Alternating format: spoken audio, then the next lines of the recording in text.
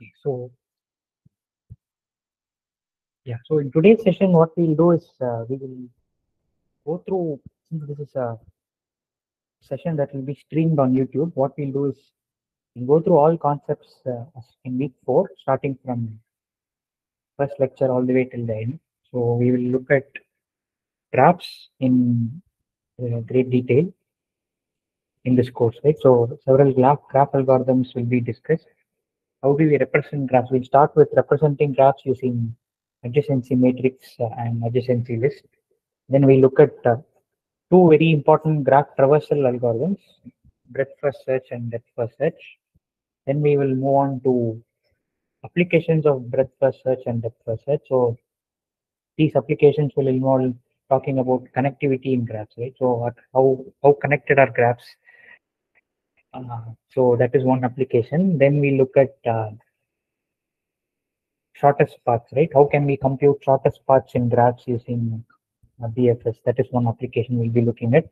We'll also be looking at uh, another application on connected components, right? So how do we find subgraphs which are islands of connected graphs, right? So that is something we'll be looking at. We'll also look at how to find cycles in a graph.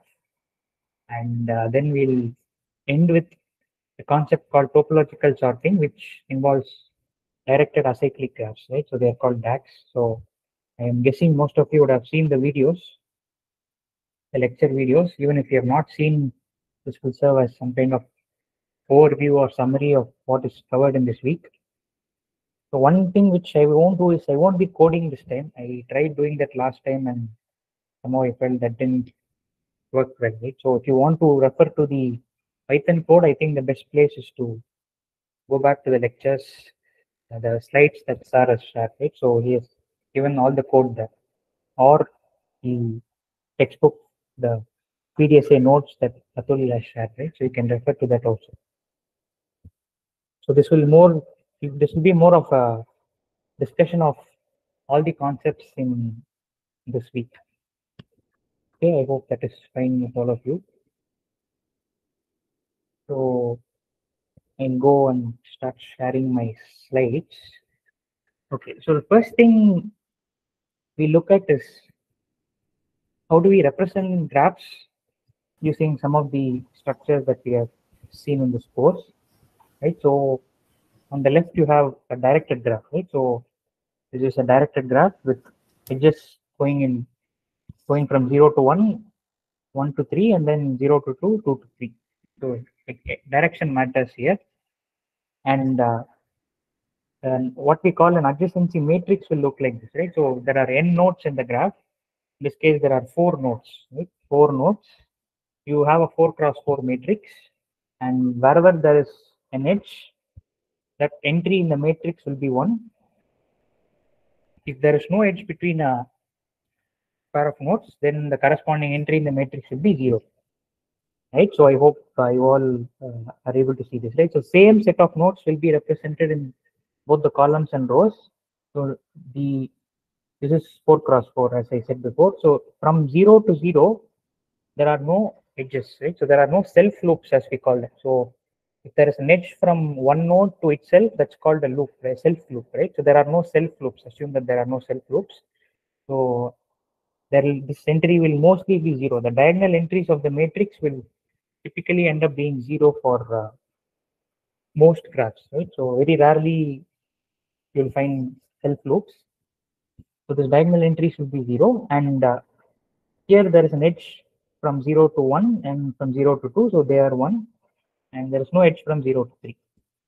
Okay, so all these, all the edges that leave out of a node are called outgoing edges, right? So for example, here zero has two outgoing edges, one that connects 0 to 1 and one that connects 0 to 2. So that is the outgoing edges. So if you want to find out the number of outgoing edges for a given node, you have to sum something. So can someone tell me what you will have to sum to find the outgoing edges, number of outgoing edges using the adjacency matrix?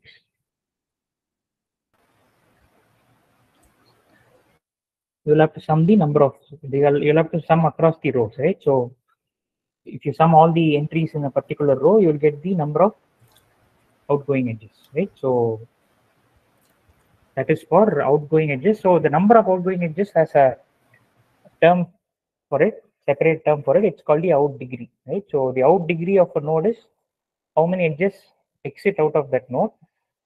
Correspondingly, there is another no notion for in degree. So that's the number of incoming edges. So for every node, if you want to find out what are the incoming edges, you have to look at the columns.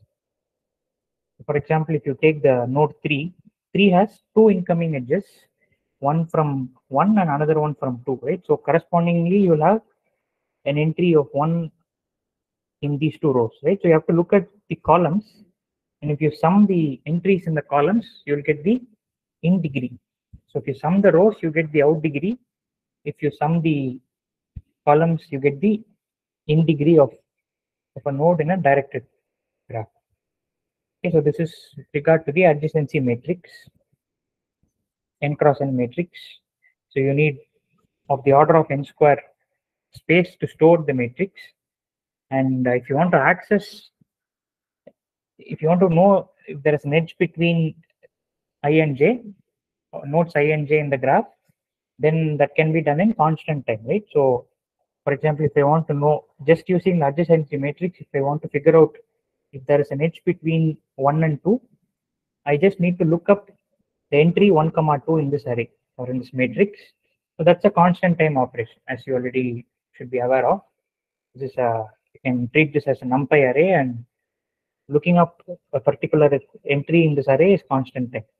Okay, so finding if there is an edge between two nodes is a constant time operation. So that is uh, one thing.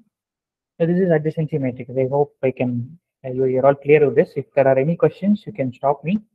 Otherwise, I'll assume that you are clear about all this and I'll keep going on. Okay, so now the other way to represent graphs is to use a list, right? So to use what is called called an adjacency list. This is again for a directed graph, right? So the way we do it is to maintain an array of array for the number of vertices or nodes. So here again the same graph. So you have four four nodes.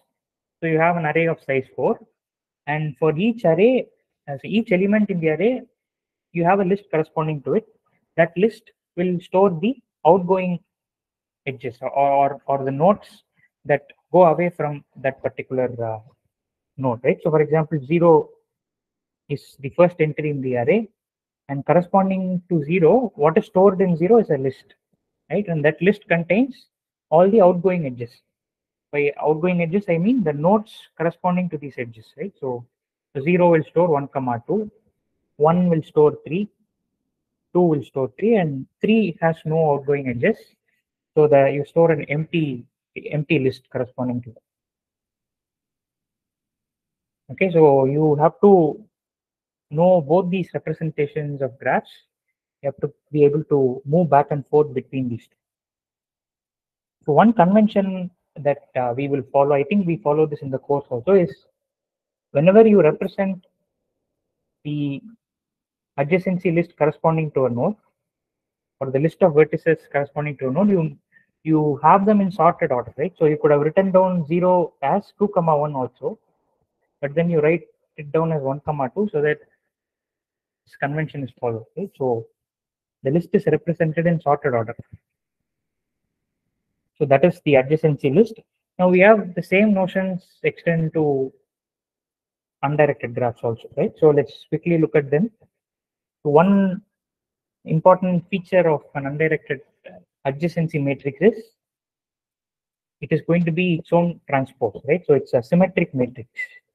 So corresponding to every edge. So if you take the edge 0, comma 1, you'll have an entry in 0, 1. You'll also have an entry in 1, 0. Right? So one way to tell if a graph is undirected or not is to look at its adjacency matrix. If the adjacency matrix happens to be symmetric, then that particular graph is undirected. Okay, so that is uh, the only important point regarding the adjacency matrix for an undirected graph. rest of the argument remains the same. So one maybe one final point here is uh, there is no concept of in degree and out degree here. There's only a degree, right? So there's no direction to the edges. So that is uh, one point. So what is represented by rows and columns over here? Like in uh, directed, I saw that like uh, we were uh, taking rows for nodes and like uh, column for like um, the outgoing thing, and then we were like we had created our columns and sorry uh, this matrix. But now I'm I can see that like since it is undirected, so it is symmetric and like we are uh, filling both the sides of it like 0 to 1 at the same time like uh, in rows and columns both so Yeah, so in both these cases, the rows and columns represent the nodes. Even in the directed case, it represents the nodes. Only thing is that here it's not going to be symmetric. So uh, the, the way you read it is still the same. So is, is there an edge from row, when, when you say, when you read up this entry in row one, column one, sorry, column two, you're asking if there is an edge from node one to node two. yes Right. i think So- rows are nodes and columns are like on which node like it is going. So yeah on which node the edge is incident on. So yeah you can you think but both are nodes right? So nodes the edges leave this particular node and enter this particular node Sir, but in direct, uh, in undirected graph, we can't say this node goes on the on that node because it is two way. yeah that is correct that's why it's symmetric right so Uh, I mean, uh, rows and column both represent nodes. We can't say anything about it, which node goes on and something like that. yeah there's the concept of direction breaks down but here also both of them represent nodes only right only the the, the, way we read it is what makes it the way we interpret the matrix is what gives the idea of direction here right so we say there is an edge if there is an edge from row i uh, from node i to node j then the entry in row i column j is 1 that's the understanding right so i comma j represents one entry in the matrix. It also represents node i and node j. If there is an edge from node i to node j, aij equal to 1. That's what we are saying, right? I hope that is fine. The, the distinction is clear, right? For both. Okay, so that's the adjacency matrix for uh, undirected graphs. Now, yeah, if you want to find out the degree, right? So there is no in degree, out degree. You have only the degree of a particular node. You can just sum all the elements in a in a row or or the column, right? It will mean the same. So it should give you the same output. For example, for node one, you could either sum the row corresponding to one or column corresponding to one. Okay, you'll you end up getting the same sum. So that is the adjacency matrix for an undirected graph. Adjacency list. Again, you you have this same representation as we saw for directed graphs. So nothing different here. Okay, so we'll move on. Now we'll uh, take up the first of the graph traversal algorithms which is breadth first search, right? So breadth first search is one of the two graph traversal techniques. So we will do an example and uh, see how how it works. Right. So the idea in first search is to take up a particular node, right? To start exploring the graph from a node. So it could be any node. In this case, let's say we, we choose the node zero, right? We start exploring the graph from node zero. So the way we are going to do this is to maintain a queue, right? So every time we start exploring a node, or, or every time we encounter a node, we add it to a queue. Right? By, by queue, I mean first in, first out, right? So the queue, I hope from last week you you, you have you have read the uh, or, or found out what a queue is, right? I hope that is clear to all of you. So whatever it goes in first, that is the thing that will go out first, right? So any normal queue that you find in say railway station or whatever, right? So that is exactly the same concept that we are using here.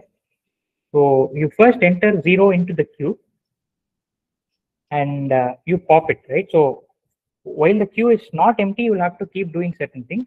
So the first thing that you do is you pop the queue. So when you pop the queue, it's the same as saying remove the topmost element in the queue, right? So elements or nodes enter from left to right and they they go to the other side of the counter. You can think of this uh, vertical line as a counter. So zero is now going to step out of the counter and now we have started exploring zero. Right, so we have started exploring zero.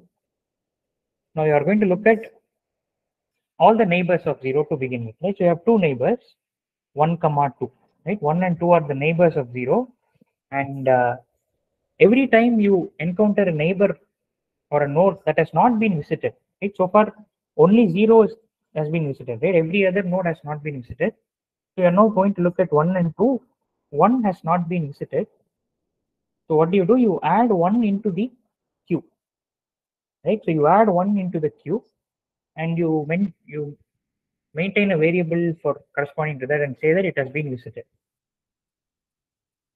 Okay, so one has been visited. Now next, you go to the second node, that is a neighbor of zero, and that is two. So two is not yet visited. So now you add two to the queue, right? Every time some node is you you visit some node and it's not yet visited, you add it to this queue, right? So now you add it to the queue. So notice that we are also doing another operation here where every time we, we, we add a node to the queue, we are also keeping track of who the parent of that particular node is. Okay, so the parent of a node is the node from which, or, or the node from which that particular uh, vertex was first explored. Okay, so for example, the parent of one is zero because one was first discovered by zero, right? So while I was exploring zero, I came across one. Therefore, zero is the parent of one, and I make note of that here. Likewise, for two, zero is again the parent. Okay, so you do two things every time you visit a node. You make you mark that node as visited. You add it to the queue, and then you mark its parent. Okay, so I, maybe I should say that we do three things.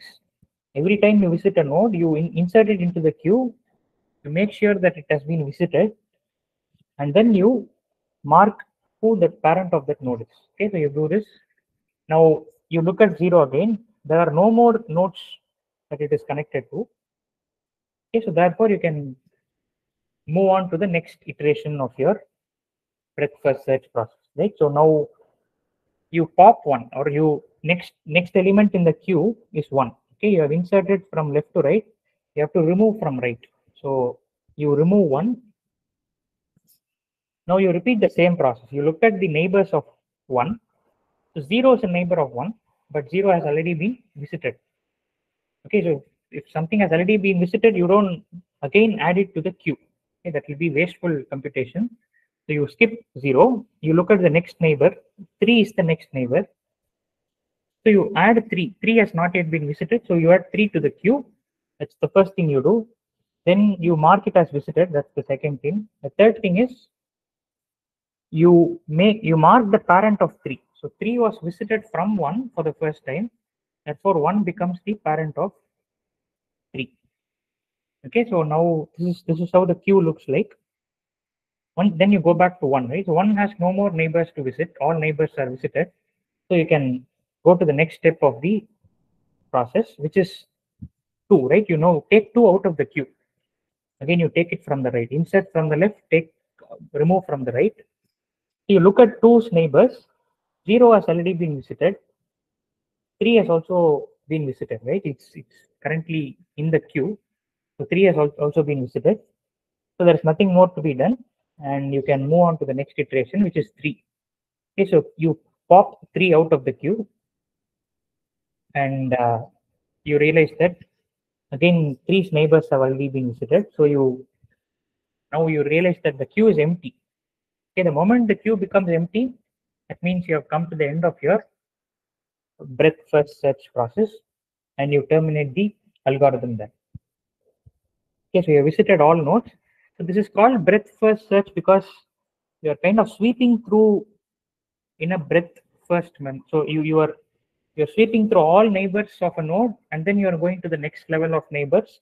You're doing it kind of horizontally, right? So from left to right. So if you think about this, I'm sweeping through this horizontally from two to one, and then I'm going down to the next level, which is three. So I'm doing it in a breadth-wise manner instead of first, which we will see in a while. Okay, so is this uh, execution of uh, BFS clear to all of you? Are there any questions?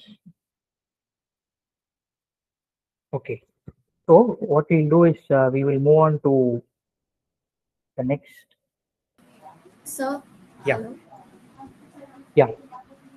Uh, sir, uh, like you explained uh, breadth first search, but uh, in the tutorial, sir have explained in another manner.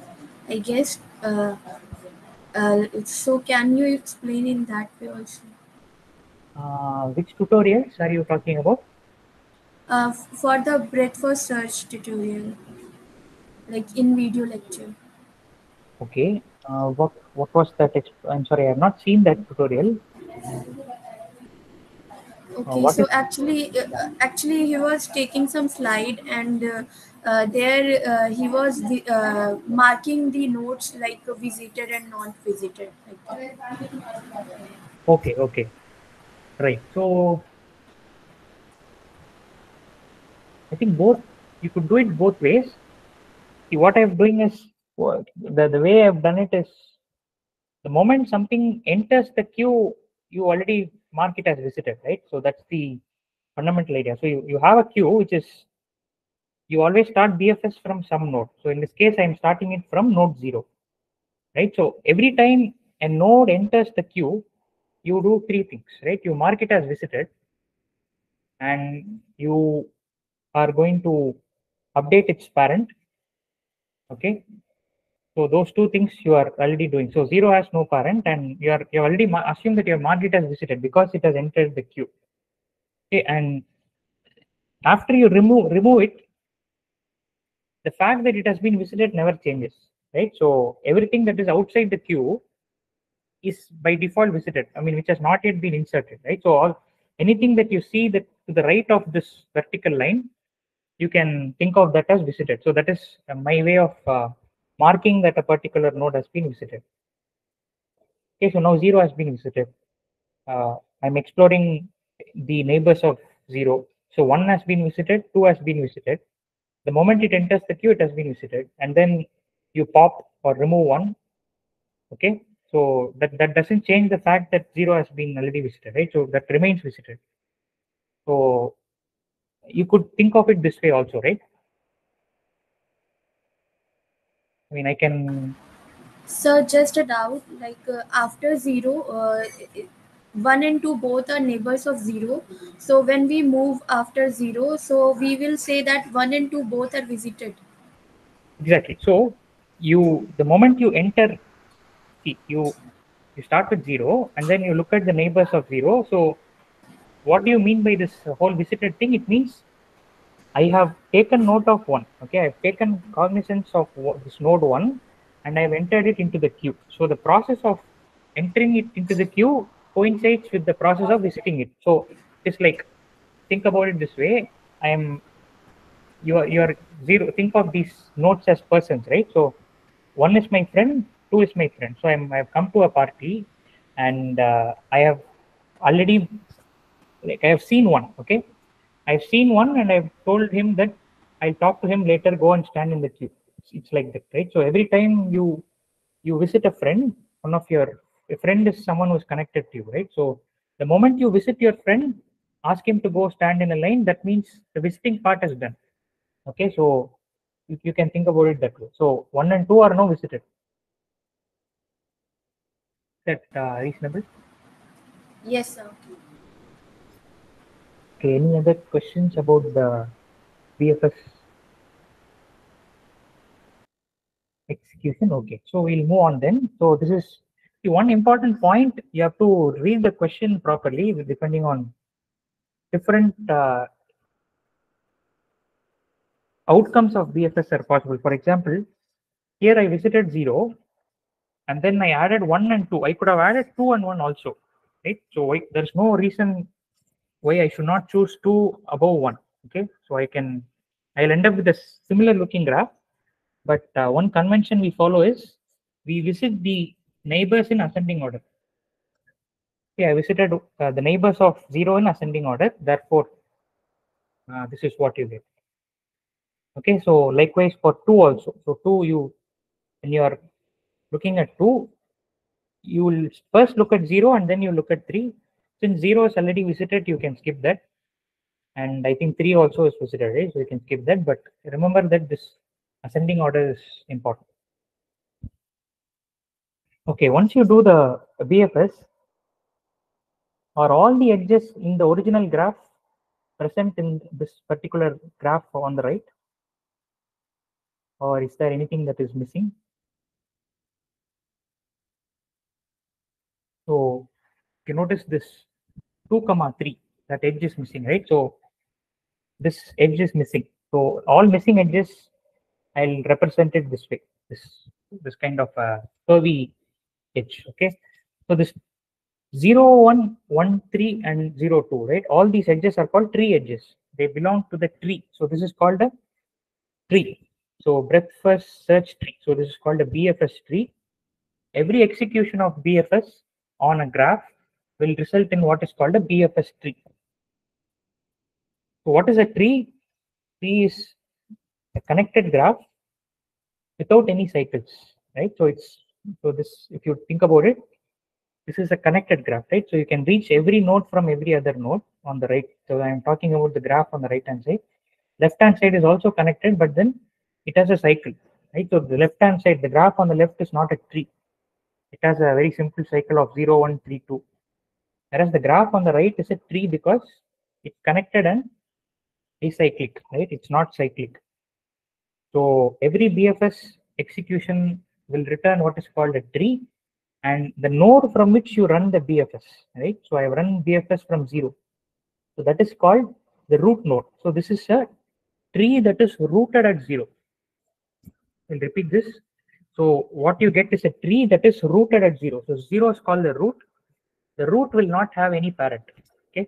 So the root's parent is null or non-existent, right? So root root will have children and every other node that you can think of in a tree will have one parent, exactly one parent.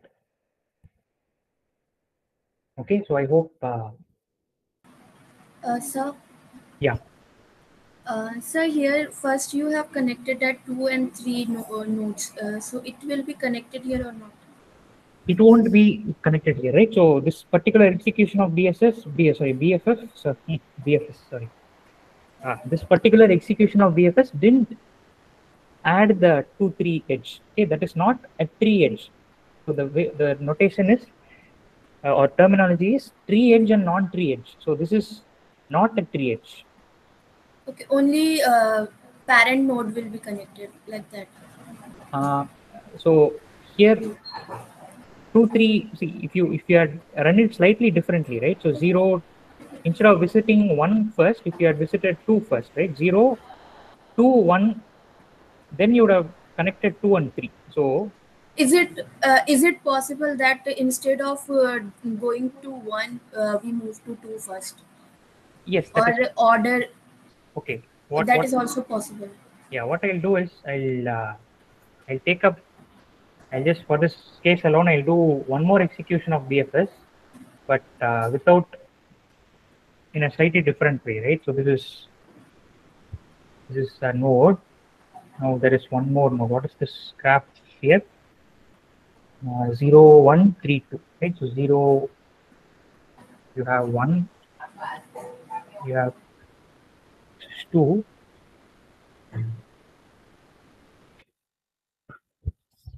Okay, so this is the graph. Now, this is directed now, so I'll remove the edges and make them undirected.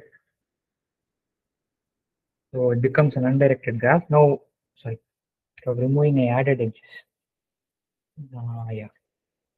So now what we can do is we can start BFS from zero, but instead of visiting one and two, we can visit two first, right? So nothing stops us from doing that. So now zero, two is two's parent is zero, and then the next neighbor of zero is one.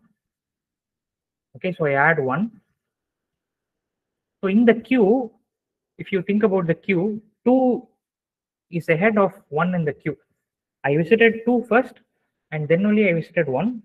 So two is ahead of one in the queue, and therefore the next element that is going to be removed from the queue is two. Now I look at two's neighbors. So two's neighbor, uh, there's only one non-visited neighbor. Okay, so that will be three. So if you now compare this graph and this one, so zero, one, so one, three is not a part of this breadth first search tree. Uh, that means uh, for this particular BFS, there are two Q uh, possible. There are uh, two trees possible. Yes, two trees. Yeah, sorry. two, two trees possible. And you could, so extending this, you could also start BFS from any other node, right? So I could, for example, I could have started from three. So that depends on how you call the BFS function. So if I start from three, then uh, if I follow ascending order of node visits, I'll visit one first, and then I will visit uh, two. Okay, and then I'll visit zero, right? So zero will go to one. So I, I'll first visit one, and then uh, I'll visit two, but one ahead of two in the queue. So from one, I'll visit zero. Okay, now it's a totally different uh, looking tree. It's rooted at three. Yes, sir, it's clear. Okay, So, so one more thing. Uh, Yeah. Like uh, you have mentioned cyclic and acyclic graph. Uh, can you explain little bit more, please? So this is a cyclic graph. You have a cycle, right? You start from zero and you come back to zero. There is a path, rather there is a yeah, there is a path zero to one, one to three, three to two, and then go back to zero. So that's a cycle. Whereas if you look at this graph on the right, there is no cycle, right? There's no matter how what kind of sequences the sequence of edges you take, you can never get back to the same node. So that means trees are always acyclic. Yeah, trees are by definition connected acyclic graphs. Okay, sir. Thank you. Okay, so yeah, so that is BFS. So cyclic or acyclic is all with the directed graph, no? Uh, it's it, it works for both directed and undirected graphs, but a tree is typically an undirected acyclic graph. So for a directed acyclic graph, you have a separate terminology called DAG, right, which we will look, be looking at. That. Okay. Okay, so that is But you were telling that one as a convention, we will go with the ascending order, right? And Right. selecting the nodes. yeah, while selecting the nodes, yeah. nodes. If that being the case, your alternative case, what you have shown, is not in con- in alignment with the convention, is it? That is right. Yeah, this this particular execution of BFS is is a valid. Ex- it's, it is still BFS, but then we have just uh, not stuck to the convention of Yeah, that's the point I'm telling.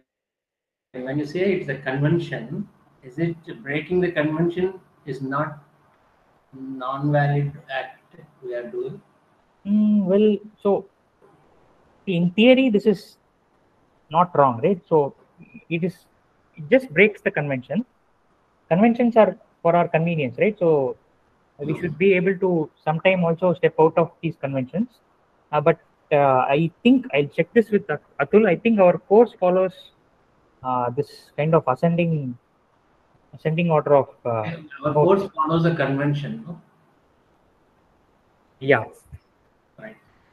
So yeah that point alone i as i said I, before the or at least during the first revision session or before uh, the quiz one we will Hmm. confirm that with you whether uh, we are following this ascending order uh, for graph uh, node traversal or not. Okay, but for this session, please assume that we are going to stick to ascending order of traversal. Okay, okay, sir. Thank you. Okay, so that is the depth first, sorry, breadth first search tree, BFS tree. And this 2, 3 is not a part of the tree, right? I have included 2, 3 just to show you that there are nodes in the graph which are not there in the tree. Okay, now we come to DFS, right? So same graph, we'll, we'll do a depth first search. So the idea, as, you can see, is you keep going deeper and deeper instead of going broader, right? So this time what we are going to use is a stack. Okay, so instead of a queue, a stack, the last in, first out, right? Whatever was the last entry you pushed into the stack, that will be the first that you remove out of the stack. So entry and exit are both through the same point, right? So left entry, left exit. So as usual, you can run DFS from any node. So we will start DFS from node zero. So you add node zero to the stack. Okay. And uh, while the stack is not empty, so in BFS, the, the algorithm was you keep doing something while the queue is not empty, right? As long as something is there in the queue, keep running the algorithm. Here, as long as there is something in the stack, keep removing elements from the stack. Okay, so first we put zero into the stack. That's the the proper term for that is push zero into the into the stack. Once you push zero into the stack, now stack becomes non-empty and your algorithm begins. So remove the first element that you see in the stack. You, zero is there. So sorry, uh, beg, pardon. So what what we are doing is uh, we we push zero into the stack and then we start exploring the nodes. Okay, uh, that particular node. So you start exploring zero. So again, ascending order of neighbors. One and two are your neighbors. So one is the first one you visit. So you, what you now do is push one into the stack. Okay, you're you're pushing one into the stack while simultaneously marking zero as the parent of one. Okay, now what you do is you a forget all. while ago you were referring this one as a queue. Now you are talking with the, the stack. Yeah. Both are same. Queue and stack are same. And no, no. Queue is so in queue, if you remember, you are entering things entered from left to right, but then this this is like a counter, right? You once your job is done, you exit the counter on the right. Right. So that is a queue. Here it's a stack. So things will not leave the stack uh, in this way, right? They'll only leave the stack from the left. So you can only enter and exit on the left. That means this will not cross the vertical line. It Yeah, it won't it should not cross the vertical line. Yeah. So the- in that case, it is called as a stack, is it? yeah a stack is you can think of it as a stack of books right? You can you can only keep adding books on top of each other. You can't remove the last book on the stack. I mean you can't remove the bottommost book on the stack right? If you want to remove it without toppling or disturbing the stack the only way is to remove the topmost keep removing the topmost books right? So that is the idea of First in, first out, or last in, first out. That's the one you are referring to. yeah yeah. This is the last in whatever was entered last that is the first to be removed. Okay so zero is the first thing to be pushed into the stack. Now you start exploring the nodes neighbors of zero. First neighbor is one you enter that into the stack. Now what you do is you completely forget about zero and you start exploring the neighbors of one okay so the first neighbor of one is zero, but then zero has already been visited. So again, you have to keep track of who has been visited and who has not been visited. Okay, so you have, you, you have visited zero, so you don't need to go and visit him again. You, you can start visiting three. Okay, so you push three into the stack, simultaneously marking one as the parent of three. Okay, now you abandon one temporarily and start visiting the, the neighbors of 3. So 1 has already been visited, 2 has not been visited. So you add 2 to the stack, you push 2 into the stack, and then what you do is you mark 3 as the parent of 2. Okay, so so far what you have done is you have kept on visiting new newer and newer nodes while temporarily abandoning earlier nodes, right? So you are now at node 2. At node 2, what you see is both the neighbors are visited. 0 is visited, 3 is visited. So there's nothing more to be done. So you pop 2 from the stack. So this is also the term is pop.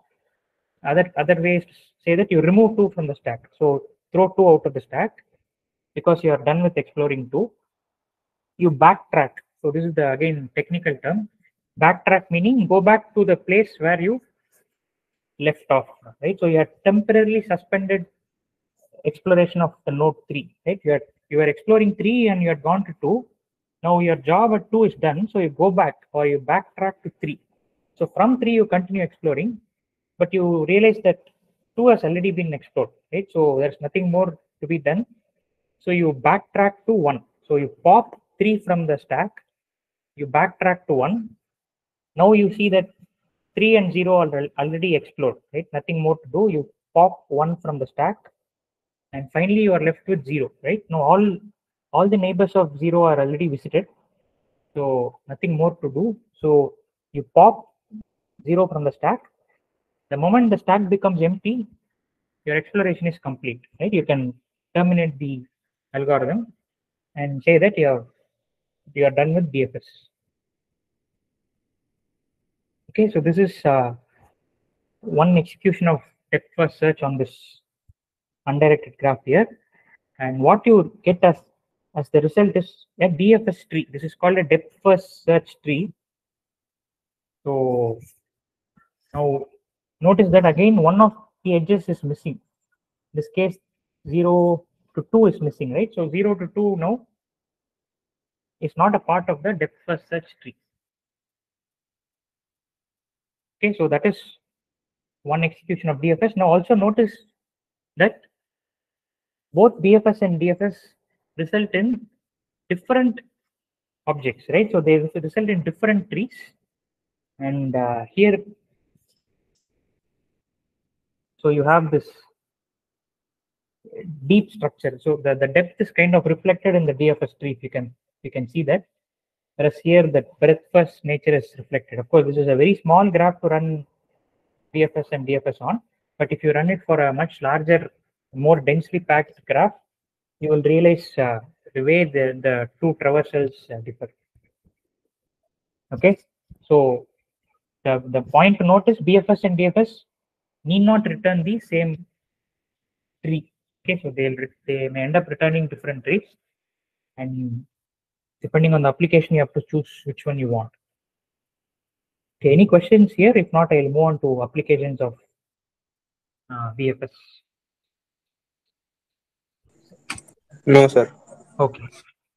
Okay, so we look at the next uh, the there's a whole host of applications we'll discuss one by one. So that is the first uh, topic or uh, concept is called that of a connected component, right? So you are looking at an undirected graph, and uh, so far we have looked at this undirected graph, right? And it was connected.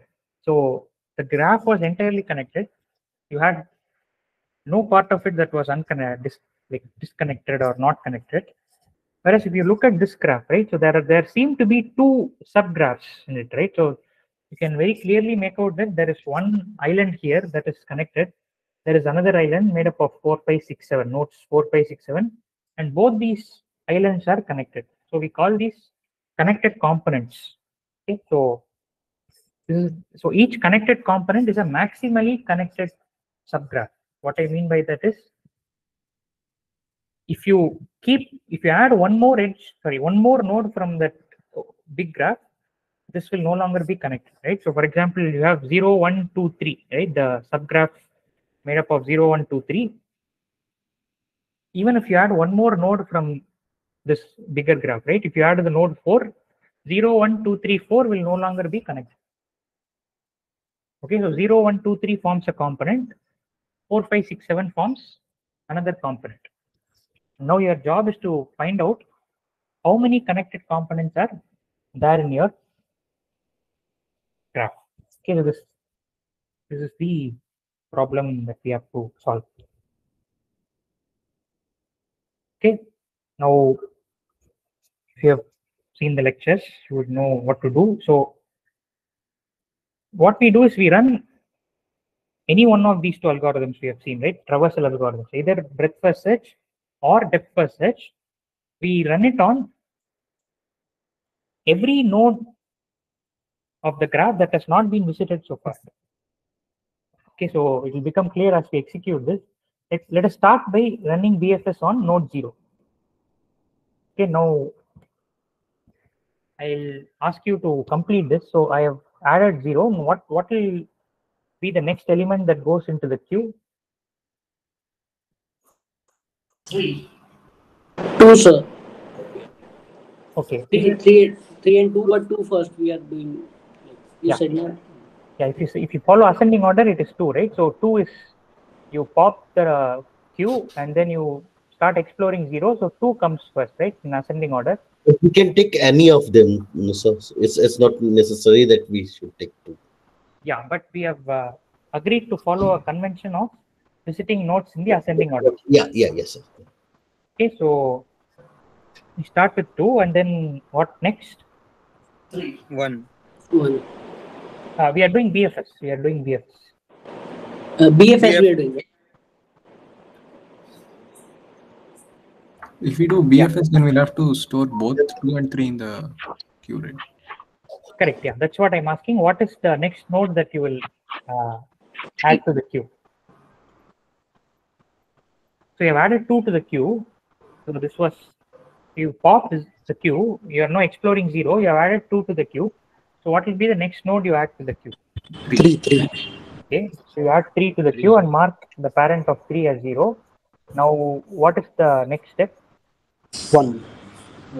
One. Okay.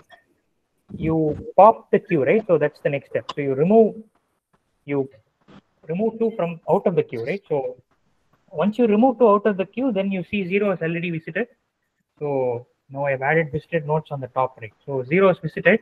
Now one is the next item to be added to the queue. Okay, you mark the parent of one as two. What is the next step?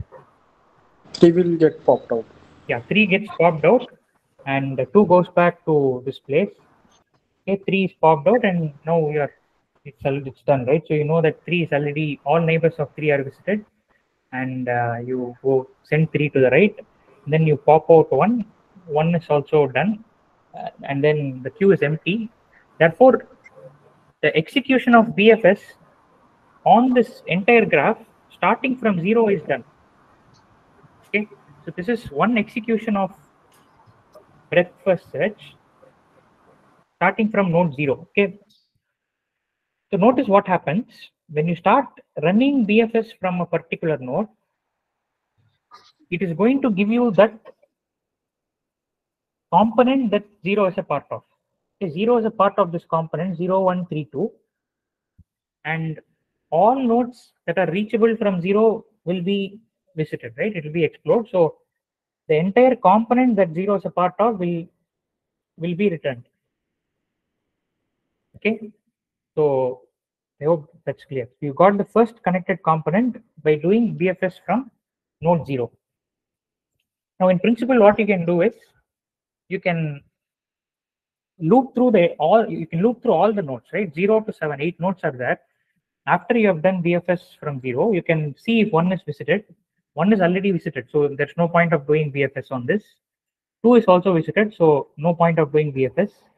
Three is visited. Okay, so zero to three already visited. Now you go to four. Okay, four has not been visited.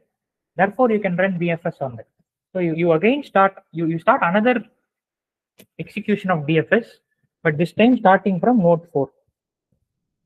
Okay, so the whole process now repeats. So you start uh, repeats, but for a different node. So four enters the queue, four is popped, and then you have five, six, seven, right? All three enter the queue. And then four is done. Uh, so you can put push four to the right here. And now you look at you keep popping things. So you will notice that all all the nodes are really visited. So it won't change the BFS tree at all. Okay, so you end up getting the second component here, right? So this is you, you you must remember one thing here. What we get here is not the entire component, but only a tree. Okay, only a tree and not the entire component. So, for example, one comma three is missing from this, right? So, one comma three is missing here. Six, six, seven. That edge is also missing here. What you get is called a depth first. Uh, sorry, a breadth first forest. Okay, this is called a BFS, a breadth first search forest. It's called a forest because it's made up of trees. Okay, so there are two trees, and these two trees make up a forest. So if you have only one, if, if your original graph itself is connected, then you will have only one tree. You will you don't need to call it a forest then. But if your original graph has two components, okay, then what you will end up getting is a forest with that many number of trees. Okay, so this is a BFS uh, forest, and uh, the, you have no. This is your, yeah. Go on. Will you say there are tree here? Like this forest has two trees Yeah, this forest has two trees. Okay. Okay, so this is a BFS uh, forest, and uh, yeah, what I was uh, mentioning is, so how do you find out the connected components? You find it, you find out the number of connected components by figuring out how many times you have to run BFS. So here we have to run BFS twice, one on node zero and one on node four. Okay, so the number of times you call the BFS on a node, on any node, right? So that is equal to the number of connected components in your graph. Okay, any question uh, at this stage? Sir, So uh, sometimes means they're getting connected within the components only, not across the components. Uh, Can you repeat the question? The connected components are connected within the component only, not across the components. Yeah, if they were connected across the component, then you will not have two components. You will have only one connected component, right? You will have, so if, for example, if two and four were to be connected, then there will be no longer two separate components. You will have one full connected graph, right? A single component graph.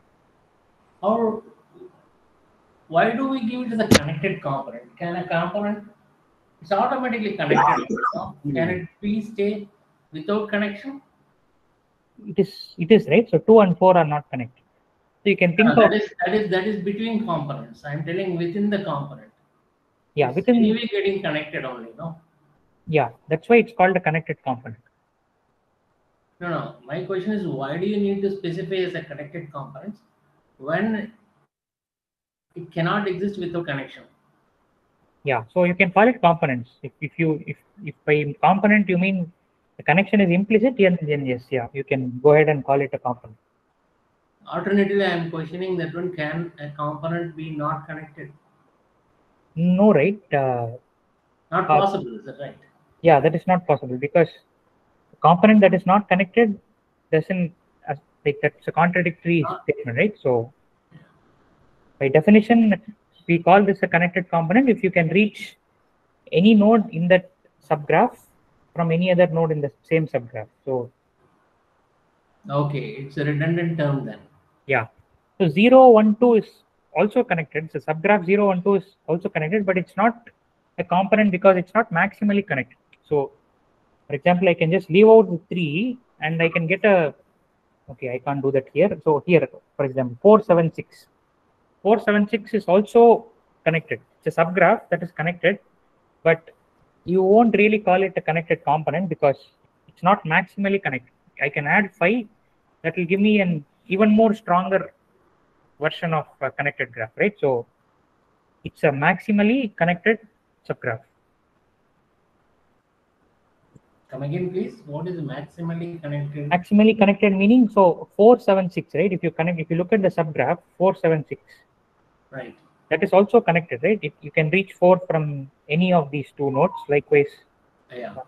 But then you won't really call it a component because you can add 5 and make it a bigger connected subgraph. Okay, so 4, 5, 7, 6, you will call it a connected component. Okay, any connected subgraph is not a component, but a subgraph which is connected and has the maximum number of nodes possible, that will be called a connected component. So this whole thing here, I'll call it a component. Likewise, this whole thing here. All right. Got it. Thank Right. you. Yeah, so we'll move on. So I hope this connected component was clear. So how many times is the way to find out how many connected components you have?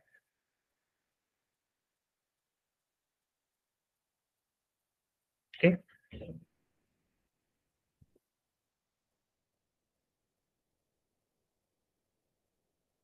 let's move on to next application, uh, which is uh, cycles, right? So cycles is also very simple once you have come this far. So if you have a graph like this, so clearly you have cycles, right? So you have multiple cycles, in fact. So 0, 2, 1, 3, 1, 2, 4, they're all cycle, cycles. Now, how do you detect if an undirected graph has cycles? Okay, So this is uh, again courtesy BFS. You can just run BFS from any node, and we are going to run it from node 1 just for some variation while sticking to our convention that we visit nodes in ascending order, right? So we, we start from node 1. No, I am not going to show the queue because by now you should have understood the flow of logic, right? So, so what? So 2 comes first. What next? If you run BFS on node 1, DFS then zero. or B, BFS, BFS. BFS then Four. four, uh, three, three, three. Okay. Uh, what next? Four. Then we'll backtrack and then four. Okay, so one, zero, sorry, one, two, three, four. Okay, what is the next one? Then we'll backtrack and go to two, then zero. Okay, so we won't backtrack, right? We are we backtrack only in DFS. We keep looking ahead to the elements that you've added in the queue. So you would have added zero when you visited two. So or rather, You can say you finished exploring the vertex. yeah. So you you finished exploring node one, right? Next, you take up two. Yeah. So you take yeah, you take up two because that's the earliest of the second level node. So this is the second level of nodes, right? The earliest of the second level nodes was uh, two, right? So you take up Got it, got it. Yeah, yeah. okay. Now what? So only thing that's remaining is zero, right? So you have to add zero, and its parent is two. So that comes to the third level. So so zero comes. What next? That's all, right? So That's it, that's it. So you can just stop it here. Now we just look at, so this is the breadth first search tree. So you have the tree now rooted at one. So this is a BFS tree rooted at one because you ran the BFS from node one. Now you look at the non-tree edges, right? Those edges which are not a part of the tree. 2, 4 is not a part of the tree and 3, 0 is also not a part of the tree. So these are non-tree edges. So in an undirected graph, if you run BFS and you find out that there is a non-tree edge, then immediately you can conclude that there is a cycle. Okay, can someone tell me why that is, why that should be true? Moment you find a non-tree edge in a in a BFS tree, that means that the original graph has a cycle. This is the claim. BFS, we visit the edge only once, each vertex only once. So if we are having this non-tree edge, that means we are visiting it twice. That would mean it's a cycle. So Okay, okay. All right. So another way of uh, saying this is BFS tree returns what? A tree, eh, as its name suggests. So a tree is a connected cyclic graph. So a tree does not have cycles, but it's connected, which means between any two nodes in the tree, you have a path. Okay, so if you, if you take 2, 2 and 4, 2, 1, 4, that's a path, right? In fact, there is a unique path between any two nodes in a tree. Okay, this is something you have to can think about, and it will also become obvious when you look at the way the look at the way the tree has been constructed, right? So there is a unique path between any two nodes in a tree. The moment you introduce a non-tree edge, okay, moment you see a non-tree edge, that means one more path. Okay, so 214 is the is the is a tree path, right? A path that goes through tree edges, but then you are saying that there is a non-tree edge from 2 to 4. So I can go back from 4 to 2. Okay, I use tree edges to traverse from 2 to 4, and then I use a non-tree edge to go back from 4 to 2. Okay, so every non-tree edge will help you form a cycle. Is that argument clear for everyone? How you conclude that if there is a non-tree edge, then there is a cycle? Yes, sir. Okay, so so that is uh, with regard to cycles. Now let's look at another application of BFS, which is the shortest path. Okay, so we'll be looking at uh, shortest path in a very specific sense. So what what do I mean by shortest path? this how many edges are needed to go from one node to another node. So if I want to go from zero to three, I need to tra traverse these two edges, right? So you can think of each edge as contributing to say uh, some cost, right? So I need to spend each edge is like take takes one hour to travel, right? So this may be a transportation network where all edges have the same duration of travel. So zero to one takes one hour, one to three takes one hour, right? So if I want to go from zero to three in the shortest possible time, I need to spend two hours. Okay, I could also go from zero to four, four to seven, seven to three. That will take me one plus two, one plus one, three hours. Okay, can also uh, take three hours. In fact, I can take one, two, three, four hours, right? If I go from zero, four, five, one, three. Okay, but if I want to find the shortest path to reach three from zero, that is going to be two hours. Okay, so the reason I'm emphasizing this is next week we'll be looking at several shortest path problems uh, where you will not just be looking at simple graphs like this. You'll also be looking at what are called weighted graphs, right? Where each edge has a weight. So you must be must not get confused between this shortest path and shortest path algorithms that we study next week. Okay, they are a totally different variety. Okay, so how do we compute the shortest path? Again, BFS comes to our rescue. Okay, so I'm going to find, yeah, any questions? Okay, so I'm going to find the shortest paths from the node zero, okay? So starting from zero, I want to find all possible shortest paths, right?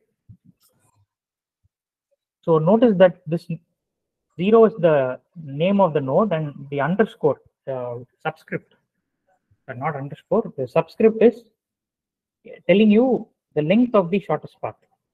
Okay. You can reach zero in zero, Zero. Yeah. right? So that you, yeah, you understand, right? So zero has shortest path zero. Okay, that's the source. Okay, this is called the source, and uh, the source has length zero because you're already at the source. You don't need to move at all. Now you run BFS.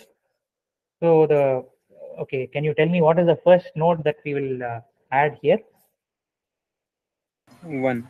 Okay, one. So one is at level one. Okay, you are visiting one. This is the next level of the BFS. So you mark that as level one. What is the next node in uh, BFS? Four. 4 okay 4 is also at the same level so, so if you recall the bfs algorithm you have to modify it as follows. Every time you visit a node you have to mark it as visited. You have to mark the parent of the node. You have to en- enter it into the queue.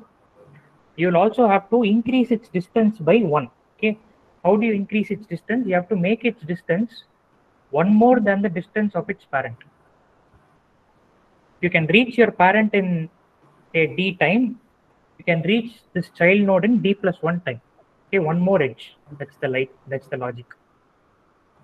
Okay i hope that is clear. Yeah. okay so one and four are visited. Now what next? In bfs Three. Three. okay we go to three. Okay again three has three has been marked visited. It has been entered into the queue. It has uh, the parent of 3 is marked and the distance of 3 is one more than the distance of its parent. Okay, so all that has been done. Okay, then 5. Five. Okay, what next? Six. Okay, is it 6 or something else? We explore from 4 onwards. Okay, you explore oh, then from 4 onwards. That's correct. Okay, Four. so, Four. Sorry. right, so finish one level Yeah, and we, only then we, yeah, we finish the like the above level first and then go. right. Four to seven. Yeah, 4 to 7. So 7 is now going to be 2. Okay, 4 7 is also at the same level as uh, level 2. What next?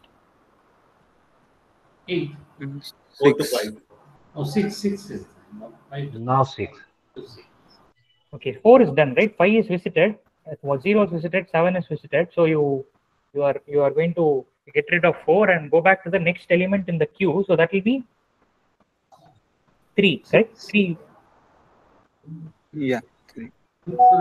Three. 3 is also done. So you go back to you go next to the element 5 in the that is 6, right? So 6 is now at level 3. So you add it. Okay, now uh, 5 is done. Now you you pop 6, that will be the last. So you'll you'll pop 7, but 7 is also done. And then you'll pop 6 out of the queue and Eight. 8 will be the last node to visit and its level will be 4. Okay, so 0 Sir, Yes. so basically the shortest path is the number of levels in BFS. Yeah, for each node, it's the number of the whatever level it is. Okay, so this gives you the shortest path from zero to any node in the graph. Okay, so this is the shortest path from zero to any node in the graph. Now, if if there is some node in the graph which is not a part of, it's not connected, right? So, for example, if you have a graph like this, the, the one that we saw here, right? So if you if you run BFS from here and you want to find the shortest paths, what you have to do is you have to set this as infinity, right? So zero is not connected to four, so you can never reach four. So there you have to be careful. So you can't reach four from zero. Okay, so that that Yes. path will be infinity. Uh, infinity here means that you can't reach, no matter how how long you spend, you can never reach four from zero. Okay, so it's the shortest path uh, algorithm clear? How how you use BFS to find the shortest path? Yeah, yeah, yes. Sir. Okay, so that is the shortest path. Now, see all this, when we say it's an application of BFS, we can do the whole thing, right? Shortest path, the whole, you know, determining cycles, finding connected components, all this can be done with very, very small changes to the original algorithm for BFS. Okay, so that's important to know. So we are done with the shortest path. Okay, now we go to uh, depth first search tree. Okay, so this is a different set of uh, applications which where we'll focus on directed graphs. Okay, so what I'll do is uh, just give me some three four minutes. I'll come back at uh, nine fifteen. Okay, just four minutes. I will break and Okay. resume.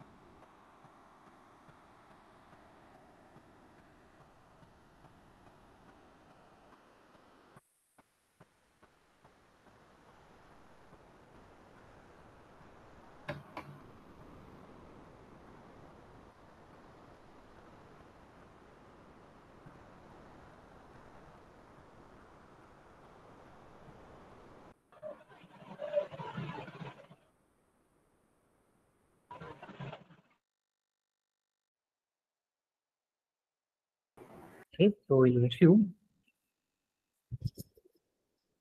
Okay, so this is a directed graph. Okay, so there is a directed graph, and we are going to. Uh, yeah, any questions so- far?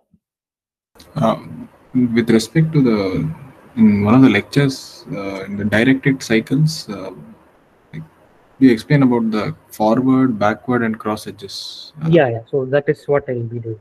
Okay. Yes.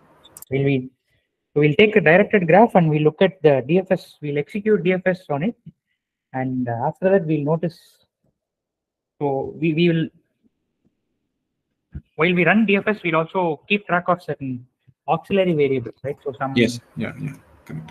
so that is what we'll be doing next. So here let's again start from zero. We are going to so this is like fairly complex looking tree. Okay, so we'll start from zero, and uh, what we are going to do here is we are going to keep track of two numbers. So one is called a pre index, you could call it index, and another one is called a post index, right? So or I don't know what uh, Professor Madhavan, what notation he uses. I don't know if he calls it index or not, but he uses these uh, variable names pre and post. Okay, so pre is just when you start, just before you start exploring that node, and uh, post indexes just after you complete exploring that node. So you can think of this. It's in degrees, I guess. Sorry, It's in degree, I guess. uh, no, not degree. So it's uh, it's not. He doesn't. This is not referring to the degree. It's more of when you can think of this as some kind of time uh, a counter, right? At what time are you entering a node? At what time are you exiting the node? So assume that time is starting from zero. So at time time instant zero, you are entering node zero. Okay. Now you're running DFS. Okay. What will be the first node that you add as a child of zero? One. One. one okay so one is the first node you're in your so whenever you move to the next step in your process the time instant will get incremented right so you can think of integer time so after time step zero at time step one you are visiting node one okay so you're entering node one at time one time instant one so what is the next step Next will be three. Okay, next will be three, right? You temporarily abandon one and you go to node three at time step two. Okay, you have moved on time step. So keep noting that as on the left top, right? This is your pre-index because that is the one when you enter a node. So you have entered the node at time step two. Okay, next what? What next? Two. Okay, now it's two. You temporarily abandon three, go to two at time step three. Okay, please don't get confused by the three, two, two, three. So this is node three, this is node two, and this is the time step, right? Now you're at time step three, so you're at node two. Okay. Now can I add zero here or We will backtrack to zero and go to four. okay? So we'll backtrack first to three, and uh, we'll backtrack. So since three is already done, we'll backtrack to one. From one we can go to five. Yeah, from one we Yeah. can go to five, right? So Yeah. before we backtrack, right? So every time you go back, you have to increment. So you're exiting two, right? So you came to two at time step three, and at time step three, you know that there's nothing more you can do at two. So at time step four, you exit out of two. At time step five, you exit out of three, and you go to time step six at five. So did everyone follow this sequence of exiting a node? So you visited a node, and then you're when you're exiting, you you similarly keep incrementing the post counter, right? This is the post when you are leaving a node. At time step four, I'm leaving it. Time step five, I'm leaving it. And then at time step one, uh, sorry, at time step six, I am not leaving one. I am exploring five. So therefore, this is entry at five at time step six.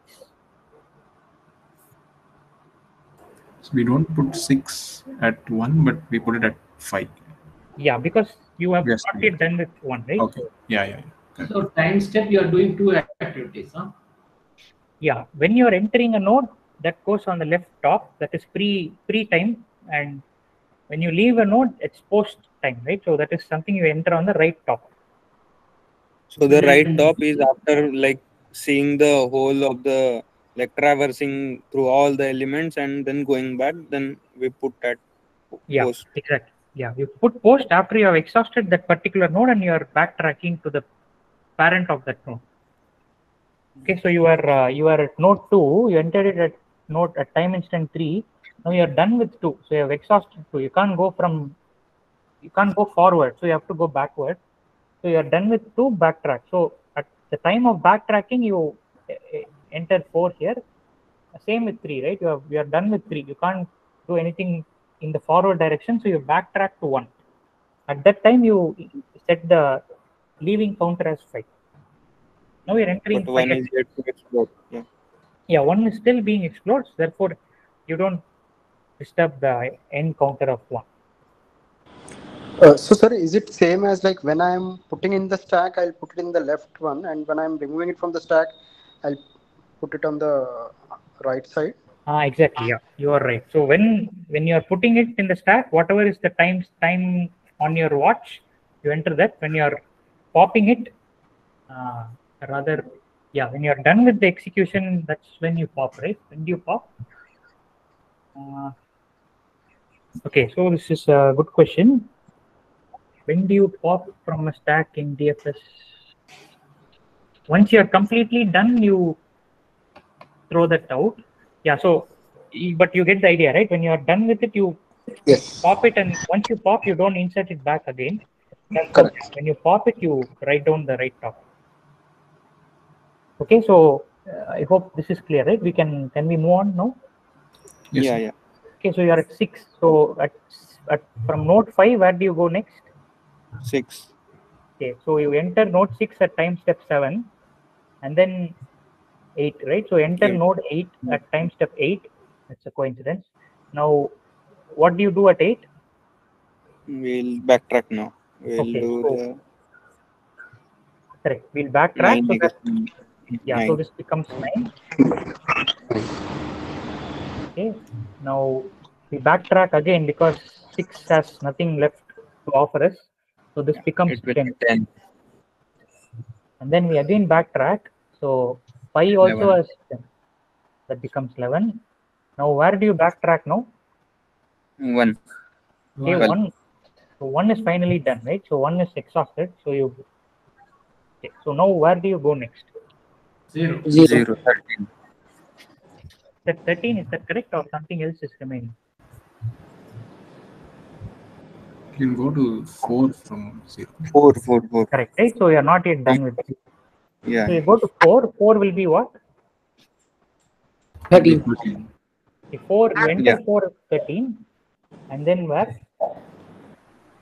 But when you backtrack to zero, you are not put 13? No, Seven. right? We, because we have not exhausted 0. We are still exploring 0. Neighbors but, of 0. but you you traveled over there, is it? You backtrack, no? No, so you no you when you backtrack from a node, you change the leaving the exit counter of that node, not the node that you're backtracking to, right? The node you're backtracking from is what you change. So for example, you are backtracking from eight to six, right? Therefore, you update nine here. You don't you don't change this here. So I'm backtracking from one, so I have to update that one. 12. You are backtracking from one, yes. Therefore, you updated, right? So to to zero, but then you are not done with zero, right? You are continuing the exploration of zero. it is a directed graph sir so yeah So you'll be entering the value only Once on you the are- new node explored, is it? yeah only the your whichever node you're exploring now it's you update the pre counter Okay. Okay from four where do you go? Seven. Seven. Seven. seven right? One more node is remaining. So seven so seven you enter at 14 and uh, yeah at this stage you are done with Then- everything. So 15 Eight. 15 Eight is covered. 16 17 17 yeah. Right so if you have n nodes in your dfs tree like this right so how many what will be the total time that it takes 17. 17 step yeah. Yeah, but if you have in general, so how did this 17 come? You can you express 17 in terms of the number of nodes? 2 into number of nodes plus 1, sir. 2 into Number of number nodes are nine. Sorry. so 2 into number of nodes, something Minus 1. minus 1, minus 1, right? So for every node you have an entry and exit, but then you are start indexing from 0, therefore your time starts from 0, therefore 2 into n minus 1. Okay, so now uh, if this numbering is clear, these are the pre and the post number numbering, right? So you could uh, okay, so why are what is the big deal? So this helps us achieve so many things. Uh, the first first thing that it helps you do is classify the edges in your original graph. Okay, so what is this? This is your depth first search tree. Okay, this is your DFS tree. Now notice one thing, right? So this is a directed tree. So far, what we have been looking at in in all ex- examples have been undirected uh, connected graphs, which we have been calling trees. But now this is a directed tree, and uh, this is every edge in your graph that is a part of the DFS tree is called a tree edge. Okay, I think this should be clear. So 0 to 1 is a tree edge, 1 to 3 is a tree edge. Okay, these are all called tree edges because they are a part of the tree. Now let's look at those edges which are not tree edges. Okay, they are they can be classified as forward edge, backward edge, or cross edges. So we look at each each one of them. So 0 to 1, there is a there is a sorry no not 0 to 1 there is an edge from 0 to 3 if you notice in the original graph but which is not a part of the dfs tree. So this is called a forward edge. It's called a forward edge because 0 is the ancestor of 3 okay 0 is the grandfather of 3 or grandmother of 3 depending on what gender you want to ascribe to nodes so 0 is an ancestor of 3 whichever way you look at it and there is an edge from your grandparent to you or your ancestor to you. Therefore this is a forward looking edge. Okay? I hope this definition is clear. So this is called a forward edge. Now if you look at the next edge there are two edges of this kind. So 2 to 0 2 to 0 is there in the original graph. Also 7 to 0 right? So 7 to 0 is also there in the original graph but which are not a part of the DFS tree. Okay, so these are going to be called backward edges or back edges. So we have forward edge, these are called back edges. So 2 to 0 and 7 to 0. So the reason should now be clear to you, right? So I'm going from, it's going from a descent. So if they are clear, then there is Yeah, yes. Okay then there's one final edge which is not a tree edge or a forward edge or a back edge and they are called cross edges. So in this particular instance 4 to 5 right? There is an edge from 4 to 5 in the original graph and there is an edge from 7 to 8 in the original graph. These are neither forward edges nor back edges nor tree edges. Okay so they are they are called cross edges. So you can see that they kind of cross between two different branches of your tree. So we could think of uh, as far as the tree is concerned, four is neither your as far as the tree is concerned, four is neither your mother nor your father. Seven to eight is not two different branches, no? Yeah, they are two different branches of this tree, right? So four, five, six, eight is one branch, seven is a different branch. No, no, no, no. Eight can be with the seven as well as five, six, eight, no? And no, no, you are you should you should look at the tree, right? So as far as the tree is DFS tree is concerned, So eight- 0 to 4 is a forward edge or means you have to skip one. Means to be a forward edge, you have to skip one. One level up, right? Uh, mm, skip one as in As in skip one node.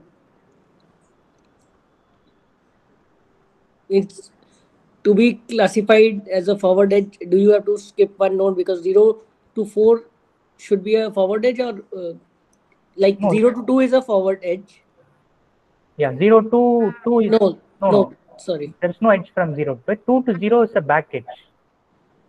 Okay, is there uh, two to zero is a back edge, but what uh, the forward edge is? Uh, what did you say? The forward edge would be zero to three. Zero to three. Yeah, 0 to 3. See, the, the but zero to one is not a forward edge, right? no, no, 0 to 1 is not a forward. So the classification works like this, right? So there are tree edges and non-tree edges, okay?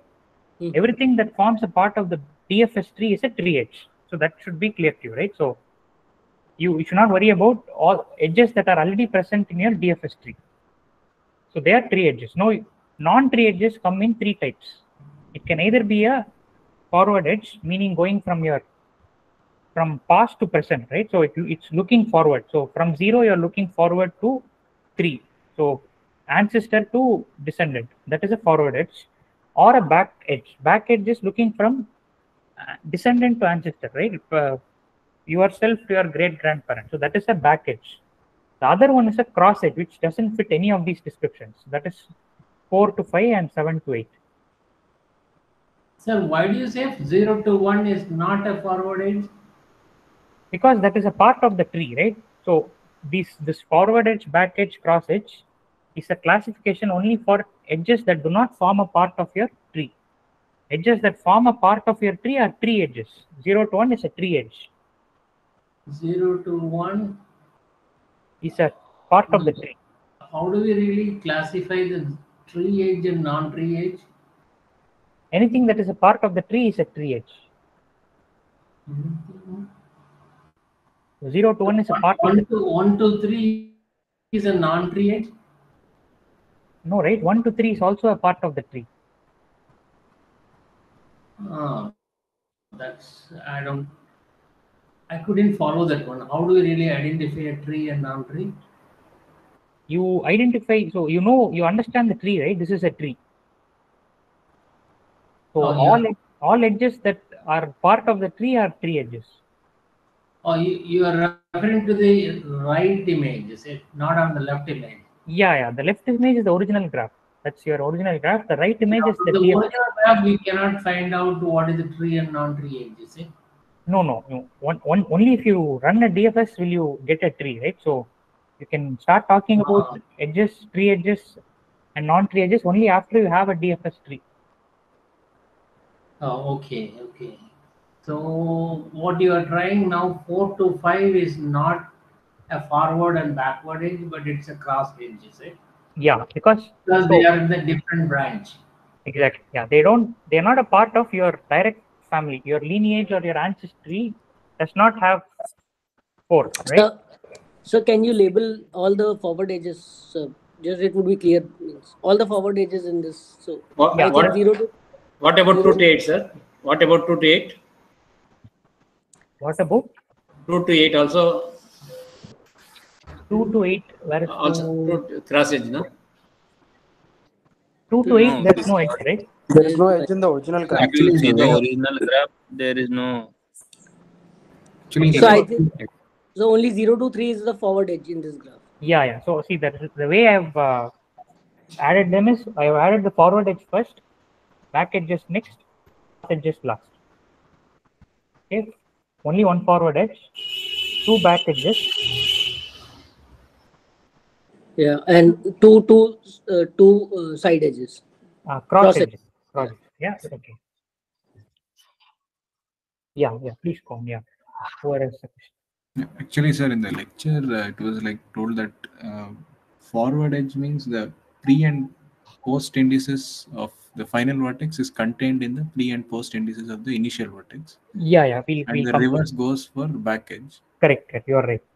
Uh, that is, I mean, That part we'll yeah we'll look at that part. So that is the next thing we look at. So before we go to that, we look at uh, the relationship between these things. Sir, 5 to 8 is forward edge.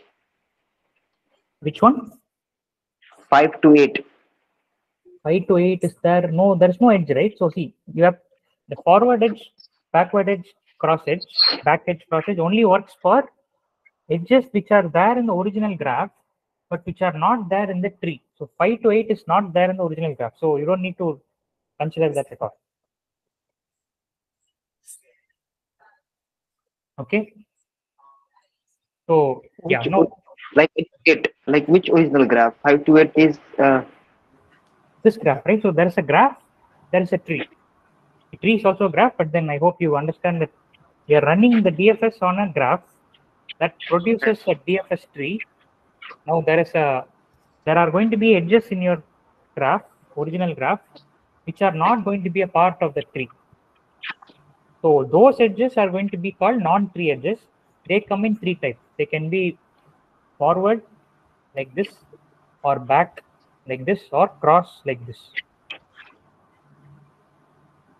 So what was the statement you were telling? The edges not existing in the original graph are called non-tree edges, right? So, so the edges that are not present in the original graph uh, sorry, edges. Huh? I'm sorry, no, no, the edges which are present in the original graph but which do not form a part of the DFS tree are called non-tree edges, right? Because they are not a part of the tree. Oh, the edges originally existing but not in the DFS are called non-tree edges. Huh? Yeah, right. Okay. Okay, right. So there is a way to identify just based on the pre and post index, right? Post indices. What is what is what, right? What what kind of an edge are we talking about? So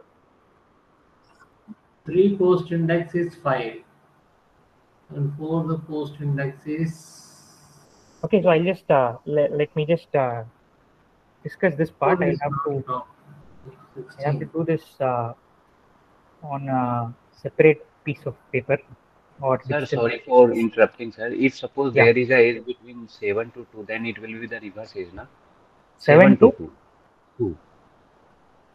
seven to two, right? Yes, sir. 7 to where is 2 7 to 2 7 to 2 will be a cross, Cross edge edge. Cross Cross edge. ages. Yes, yes, yes, yes. okay, Yes, cross edges between two different uh, families forward Yes, and yes. back edges are part of the same family uh, seven cross edges are between extended families so for example if one is your parent four is your uh, uncle or aunt Yes, yes, sir. Now, now got it, sir. okay Now you are So- telling about the branches, is it? yeah there is a branch Between branches is a cross edge, is it? yeah yeah not in the same lineage so you're not there so edges which are not a part of the same family but are between between two different families right so or family trees No. okay not family trees but i hope you get it so Oh, yeah. right so let me go and uh, discuss this part Not in the same level. well uh, level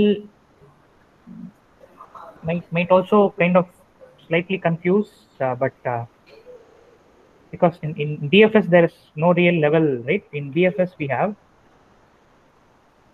okay maybe i need uh, the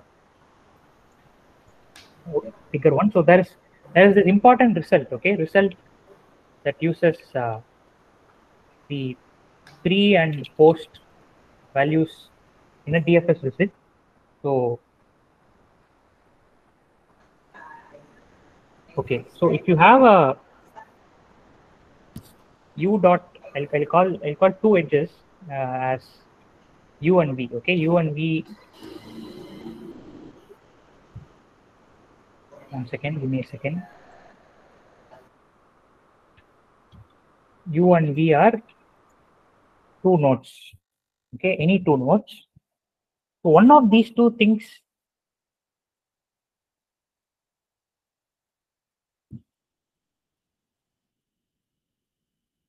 will only happen okay? So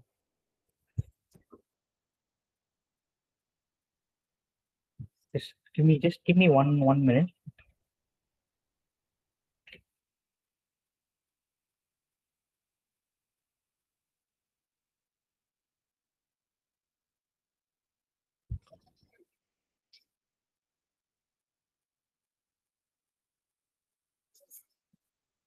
Just need to refer to one idea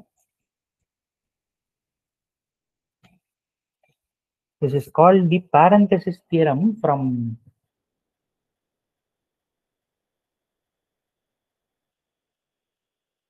the textbook.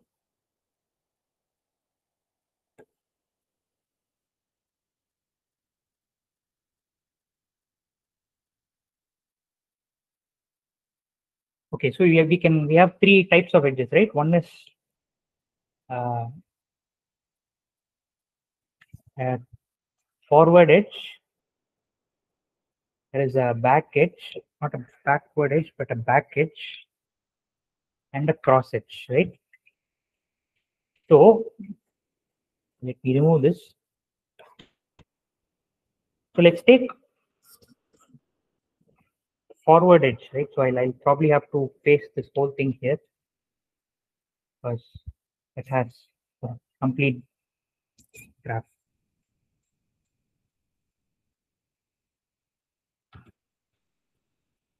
Okay, so this is the full tree, right? We have a full tree here. Now forward edges have this property. If, if there's an edge from let's say the edge is from u come u to v right? So u comma v is an edge. So in this case what is the forward edge? 0 to 3 correct? 0 to 3 is the forward edge. Let us call it 0 comma 3 now notice the pre and post values of 0 what are the pre and post values of 0 0 and 17. Okay, 0 comma 17 for 3 it is? 2 comma 5. 3 it is 2 comma 5 right? So you there is a relationship between these two. Now if you have a forward edge from u to v so whenever i say u it is 0 v is 3 the this interval right? So pre comma post defines an interval right? A time interval. This is 2 to 5 seconds. This is 0 to 17 seconds. Now notice what happens. The interval 2 to 5 is subset of right? So contained in right? I hope that notation is fine. Is contained in 0 to 17 do you see that? Okay. So you can identify forward edges by by noticing this relationship so for forward edges i'm now going to make it slightly abstract which are of the form u comma. So u comma v is a forward, let's say u comma v is forward edge, then following will happen. Uh,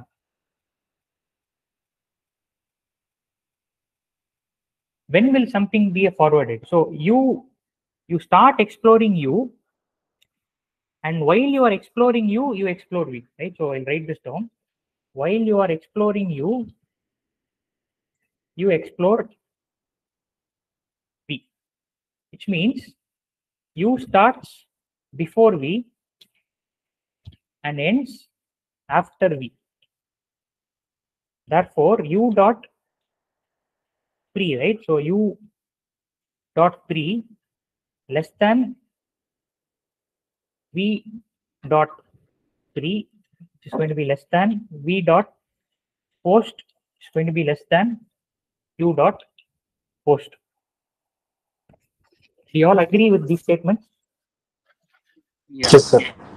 Okay, so forward it means it is going from ans from ancestor to descendant. So that means what? So if zero zero is the ancestor of three, which means while you are exploring zero, you came across three. Okay, and uh, therefore three's exploration starts only after zero starts. So u starts first, and then you it, you encounter v somewhere in the process but you don't add 0 to 3 okay? Because 3 was explored by 1 it's a depth first search right? So zero three doesn't come first. Instead this 3 gets explored or visited by one first but then there is a link from 0 to 3 so you can't help it. Therefore it's a forward edge so while you are visiting u you explore v and this relationship happens right this is for forward edges any questions regarding this relationship? Okay, I hope that that is clear. Now let's go to a back edge. Back edge is what? Sir, sir uh, sorry, one question, sir. Yeah. Sir, this is true even in case where there is a uh, bidirectional edge. So then also it is true, right? I mean, Bidirectional edge from? as in, so in case of 3 to 2, there is an edge, directional edge. So if uh, there is an edge from 2 to 3 also, then, no, no, sorry, that will be a backward edge. Ah, two, three uh, will be a back edge. Yeah. backward edge. Essentially, what I'm trying to say is that uh, even if the adjacent nodes have two-way no two-way edges, two-way directions, then obviously in DFS only one of the edge will come into the tree. Right. So even the other edge which we omit, if it happens to be a forward edge, then also this condition will hold true, right? Yeah, this condition will always hold. So whenever you have one, you have you have an edge of the form u comma v, and v is contained, v's intervals are contained in u, then u comma v is a forward edge, and vice versa, right? So Okay. can characterize this forward edges by based based on just looking at pre and post values of the nodes. Okay, so we look at the back edge, right? Back edge is two to zero, right? Now the exact opposite of what's been happening, right? So uh, zeros, twos, so u comma v, right? So now this is u comma v. So this is still the same, right? So while the, only thing that changes is the positions of you and me. So for now, I'll make it concrete and then I'll go back to abstract. So u is what? 2 and this is v is 0, right? So 2 comma 0. So while you are exploring 0, while you are exploring 0, you came across 2. Okay, so while you are exploring v, you explore u. So v starts before u and ends after u. Right? So this whole inequality is now going to be reversed. So v dot pre less than u dot pre less than u dot post less than v dot post. So is it just the order of the the, the which contains what changes? So here in forward edge, u contains v, in backward edge, v contains u. Is that clear, this uh, distinction? This is not clear. See, there is an edge from u to v, right? So u to v. And we are U calling is it, a- 2, V is 0. yeah, u is 2, v is 0. Okay, u to v, and we are calling it a back edge because we are going from descendant to ancestor, bottom to top. Okay, so moment you go from bottom to top, who who would have started exploration first? Top, right? Ancestor starts first. So V starts first, and U was found when you are exploring V. So V starts before U and ends after U.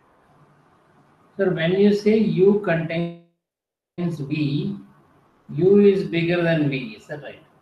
Uh, U is uh, more, is older than V, right? So that's what we mean, which means U was born.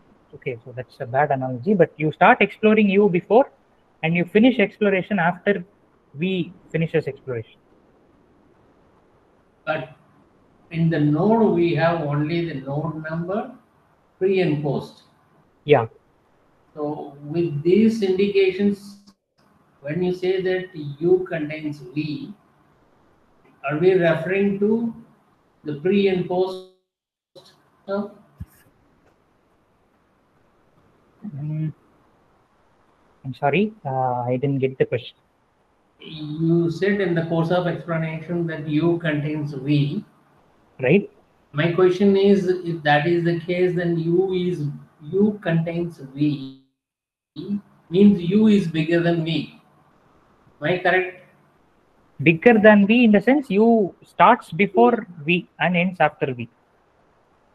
So when How I do, we say really how do we really identify that one from the pre and post values? yeah from pre pre and post right so this is only for the three types of we are looking at this from the so the, yes, the re, pre and post values for classifying non-tree edges right because you can't use this to classify there's nothing to classify for tree edges because for a tree edge also you could say that one contains three right so you start exploring one before you start exploring three therefore you can't conclude that 3 is a forward edge of 1. So that statement is not valid for Tree edges, right? So this is only for non-tree edges. For non-tree edges, if you observe that U starts before V and ends after V, then that's a forward edge. U starts before V and ends after V. And U starts Because U is an ancestor of V, right? So that's the understanding. So it is same for, for both forward edge and backward edge? uh, no, right? So But that's how it is given. No? U starts before V and ends after V in both. or V starts before U. Okay. yeah, it's, it's the, just the opposite, right? So U is an ancestor of V for a forward edge. Uh-huh. In a in a back edge, U is the descendant of V.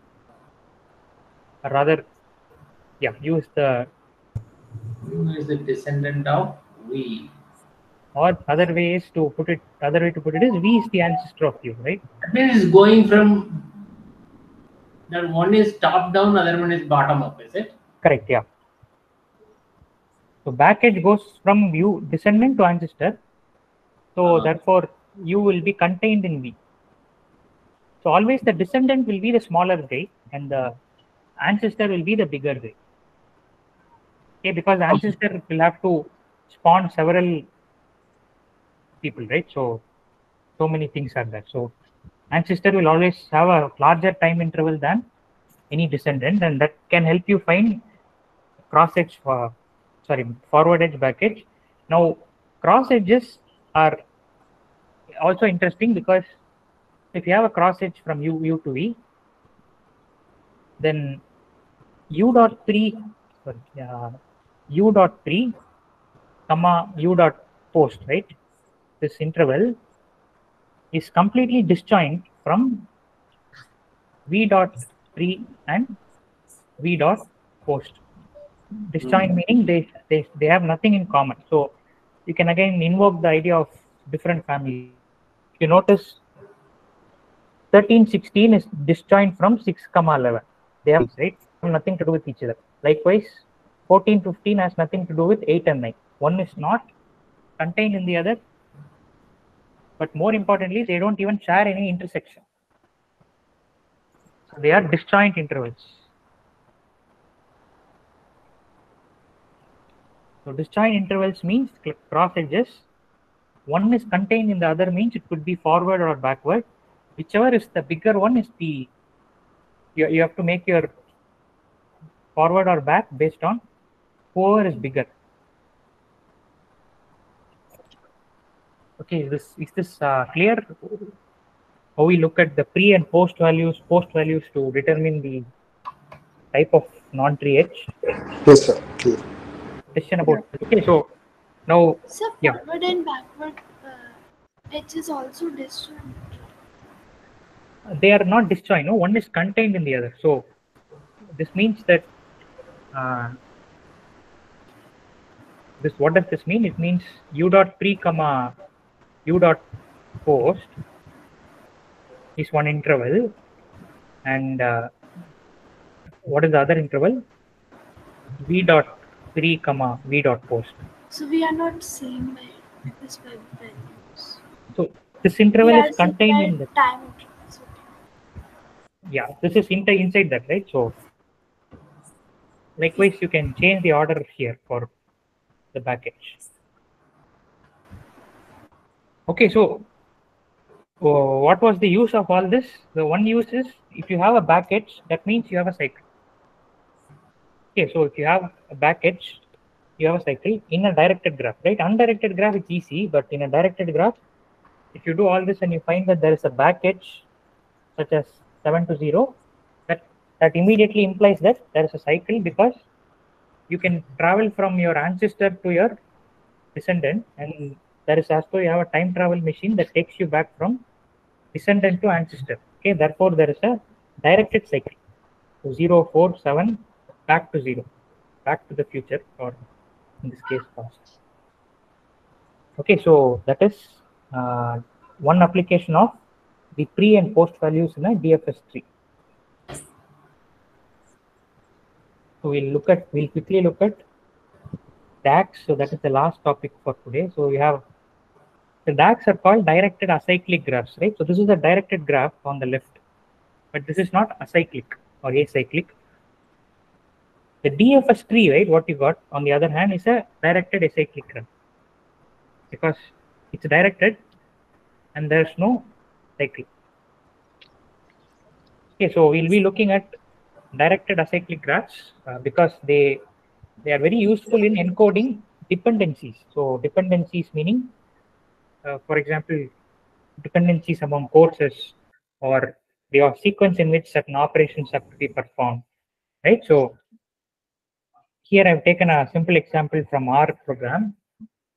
Uh, so anyone who has completed foundation uh, will have to do max 2 stats 2 and python right? So of course they need to do max 1 english all that but i've just taken the liberty to remove those courses for now. So you have to do max 2 stats 2 python. Only then you can enter the diploma level right? So i assume that you are doing data science diploma. Then that will enable you to do mlf okay only if you finish mlf of course this is my minor technical point so you can do mlf and mlt together but then assume that you can do mlt only after completing mlf right so then there'll be a directed edge from mlf to mlt so this is a prerequisite of this only if you finish mlt will you be able to go and do ml practice only if you finish ml practice uh, then uh, you can do these two courses ai and deep learning and only if you have finished deep learning can you do reinforcement learning. Okay so this is uh, this kind of dependency is encoded in a directed cyclic graph. Okay so this cannot be cyclic for the simple reason that if there is an edge from mlp to max 2 that would mean that mlp is a prerequisite for max 2 which is absurd right? So practically if you think about it this is a prerequisite for some course and then that course is again a prerequisite for this okay that can't happen. So this is called a DAG okay so DAGs are uh, very useful as I mentioned. So you can do what is called a topological sorting of a DAG meaning you can list courses in a particular sequence so that any two courses you take the prerequisite always comes before the actual course or rather whatever it's a prerequisite for so that's called a topological ordering. So we'll do a topological ordering here. So I'll just show you one. So max 2, for example, max 2, you can start with max 2 first, then do stats 2, then Python. That will enable you to do MLF, then MLT, MLP, you can do AI, DL, and then RL. Okay. If you consider any two courses here, let's say max uh, Python and MLT, notice that Python is in some sense a prerequisite for MLT. So it comes before MLT. Okay, that's the deal. So any two courses that you take in this ordering, the left is a prerequisite for right. That will always, or, or rather, you should always complete left and then only do right. So that that will be maintained. right. So this topological sorting, this ordering is not unique. So you could also, for example, say do max 2 first, then do Python, then stats 2 this is also a valid topological ordering. After you do MLP, you can do deep learning, then AI, then RL. Okay, so that doesn't disturb the ordering. Or rather, that doesn't disturb the topological order. So this is called topological sorting. Now, the question is, how do we topologically sort a given DAG? Uh, we should start with a vertex that has no incoming edges, Right. no So- dependencies. Yeah, so no dependencies, nothing. I don't need any prerequisites to do max 2 stats to Python according to my graph here. Therefore, we'll start with max 2. Okay, let's say we start with max 2. Now, once you're done with max 2, so max 2 has no incoming edges, right? There are no prerequisites. So if you finish max 2, what you do is you just remove it from your graph. And you, when you remove it from your graph, you remove it from you remove all edges that go out of it also right? So that's what you do. Now after this you take up the next course which has no dependencies. Let's say stats 2 okay you do stats 2 and then you repeat the same process. Now you can throw away the stats 2 course from your memory. Hopefully you don't do that but then for topological sorting you can do that. Once you remove stats 2 you are left with these courses. Again, the only course in this case, the only course that is having no dependencies Python. So you can add Python.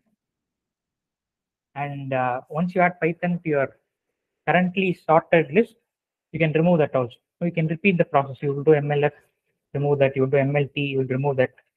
Okay, now only course available is MLP, which has no dependencies. So you can remove that. Now we have two courses which have no dependencies. Here there is a, you can choose between one of them, right? So let's say AI and then DL and then RL. Okay, so that is the So idea of can be DRL and then AI. Okay. Ah, yeah, you could also do it the other way. Yeah, DL, RL, AI is also fine. Right? So you have that or that ordering is also valid. Sir, but is it not similar to BFS? Uh, well, is it similar to BFS? In what sense are you saying? Uh, like, BFS, we don't remove anything. no, like uh, in this case, the incoming edges are not there for match to stats to in Python. So actually, we have did, when we ran through the BFS algorithm, we did not see any such scenario. But had if we want to implement BFS on this, then the same uh, flow will maintain. No. You run BFS on this, what will you do? You will do max to, Either match to stats to or Python. Suppose we take match to. no, right? You will do MLF next. You do BFS on, if you do BFS starting from max to, Hmm. what will you say? You will say, I'll do max to, then I will do MLF. Right? No, So I- actually, actually, sir, we did not see any uh, tree where uh, the starting three have no incoming edges. There was always a one starting, were always one root node. Here there are three root nodes actually. No, no. So see, BFS can be started from any node, right? So that is something we discussed at the beginning. Yeah, yeah, that is correct. That is correct. Okay. Except for that, yes, yes, I agree. Okay. So suppose in this case, the three, uh, considering that we have to start from only zero incoming edges, then there are three possible root nodes, which is match to stats to Python. Well, okay. Here we may not call it a root node because in the in the ordering we don't really treat it as a tree, right? The outcome is not a tree. It's a sorted, the topologically sorted list. It's a- just a sequence. Okay. Okay, we are not treating it as a tree here. We are just looking at some sequence of courses that uh, some sequence of nodes. Okay. Okay, so that's the difference. If you are to do BFS on Max 2, that will end up going to MLF before it starts to on Python are done. Okay. Okay. Okay. So that is topological sorting. So you might be asking now, uh, how is it related to say something like DFS? So there is a way to do topological sorting using DFS. Okay, I just quickly mentioned that before we finish off with uh, the next topic, which is longest path in DAGs.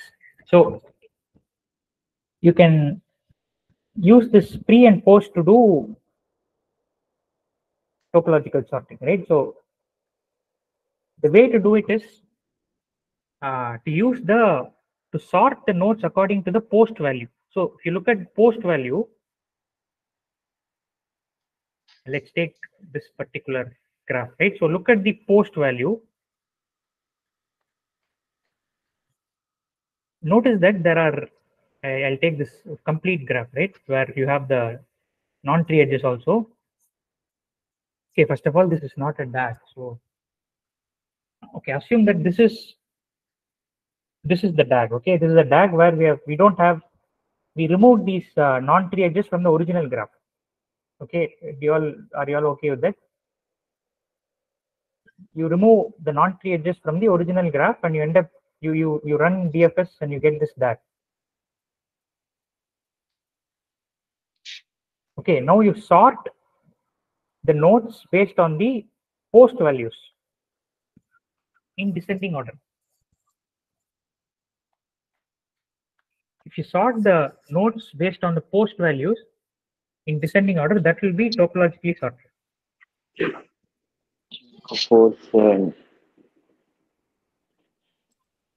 Okay, the post value. So you whichever was finished, whichever finished the last.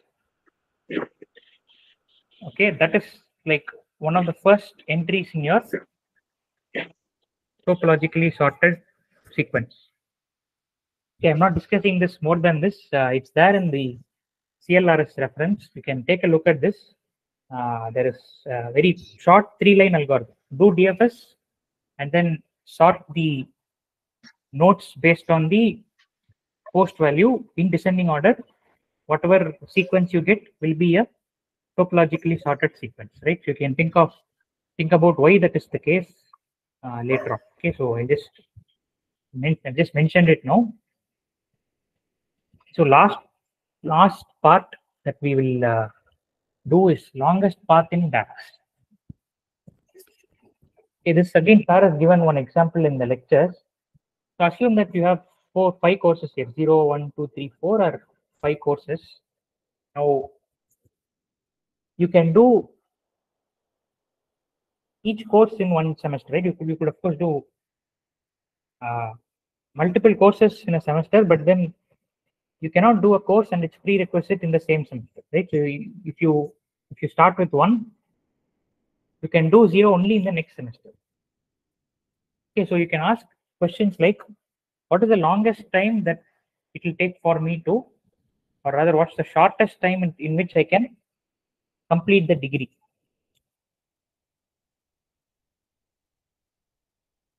Okay, so that will correspond to the longest path in a DAG. It's slight, slightly confusing because both shortest and longest are coming in the same sentence, but can you all uh, you all see why it the- is like something like how, in how many like how many terms you can complete your degree minimum Right. terms yeah what is the minimum number of terms in which you can complete the degree that will correspond to the longest path in your DAG. See, the longest path is what? Any any path that you can think of will end up being shorter than that. Right? Any other so path is what? A sequence of courses. So here a path one, two, three would mean what? You do course one in semester one, course two in next semester, and third course in the third semester. So that will be one path. So if you keep doing these things, then how what how long will it take for you to complete the course? Okay, so I'll just quickly go over the algorithm again. So this is tied to topological sorting. Okay, so as before, you look at courses which have no prerequisites, right? So let's take one. Uh, okay, in this case, I've taken four. So four has no prerequisites, and this zero here represents the distance. Okay, or, or rather, uh, you can think of this as semesters, right? So zero is the current semester. So it takes. I'm going to measure time that way. So I start from four. Now I'm going to remove four from my graph, right? That's what we did in topological sorting. So when you remove four, you also update the value of the neighbors of four. So if I do four in the current semester and then I will do zero course number zero in the next semester. So I update this to one more than zero. Okay. So now I can choose bit. I have to choose one because that has no prerequisites. So I choose one. Again, I can do one in semester zero. And uh, notice this. This already has a one. This has zero and this has zero. So I have to, if I if I can do this in one semester, since one is a prerequisite of zero, I, I have to add one one more to this, right? That logic correct? Uh, like we don't add because one has a, a path of zero. So uh, and the current path of zero is one. So we still return it as one. Correct, you are right. Yeah. So what I said was wrong. So this is you add one more to zero, which is anyway same as this, right? So you don't disturb this. Okay, maybe the semester thing is not really the right way to do it. Uh, it's better to talk in terms of path lengths, right? As Sarah has discussed. So please scratch the semester thing. Uh, paths are better. the path length, right? So the path length to 4 is 0 uh, and uh, the maximum length from the maximum length to 0 is going to be what? Is going to be updated to 1. Now, when you're removing 1, the maximum length to 0 is currently 1. And what this says is, if I reach 0 from 1, the maximum length will still be 1. Okay, 0 plus 1.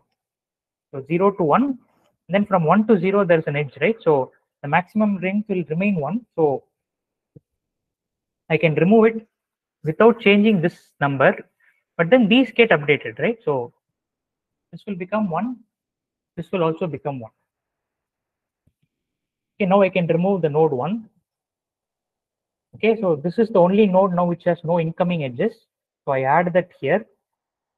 But then before deleting it, I have to update these values. Currently, the maximum length to 2 is 1.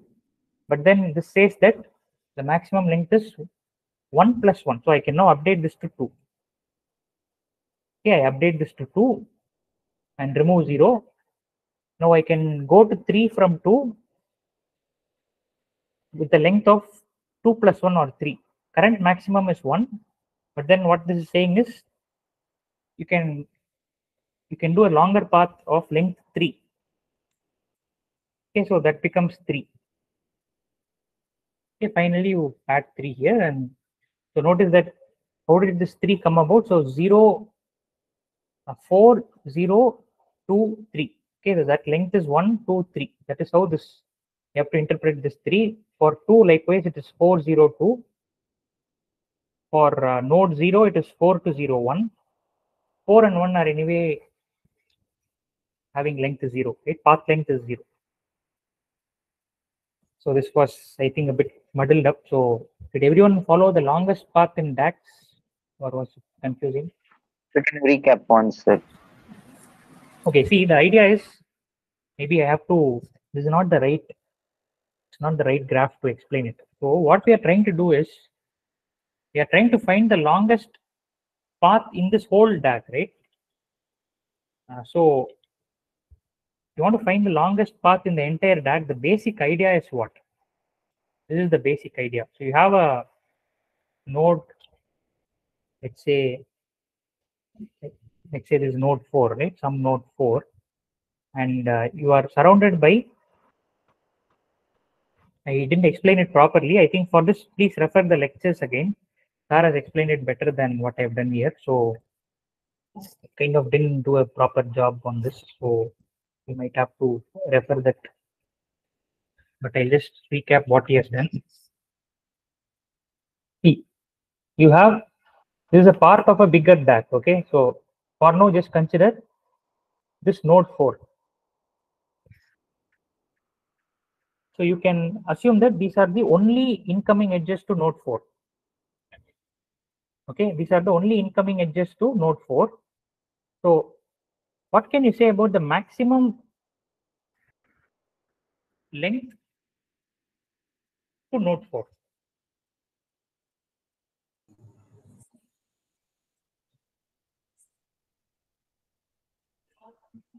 Okay there are some hidden nodes here right? So you can let okay i'll add this detail also. Uh, you can the maximum uh, path length associated with this node 2 right? Let's say 3 i can reach node node 2 in 3 steps.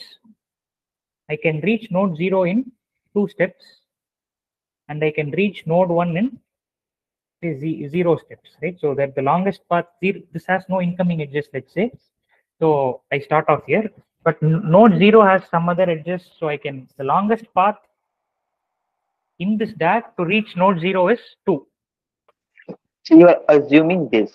I am assuming this, right? I'm not showing you the full graph. I am assuming a part of the graph. I'm only showing you all the incoming edges of node 4. But for each of these incoming nodes, I'm telling you how long it takes to reach them, the longest path it takes to reach them. So based on this, can you compute the longest longest path to reach 4?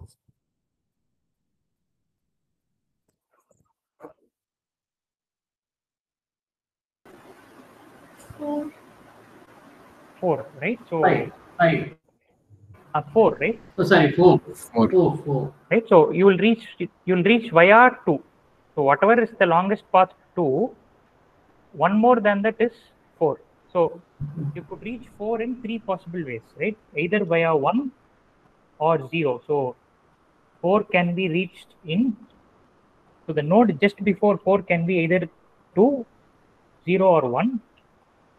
The corresponding distances are what? So if you reach via 2, then it takes 3 edges to reach node 2 and one more edge. So the distance it takes is d.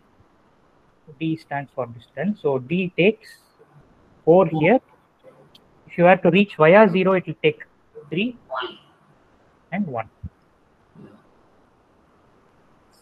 Okay, so this is the idea that we are using. If you know the if you know the distances of all the incoming nodes, maximum distances of all the incoming nodes, then the distance of this node can be found out by adding one more to the maximum of these three.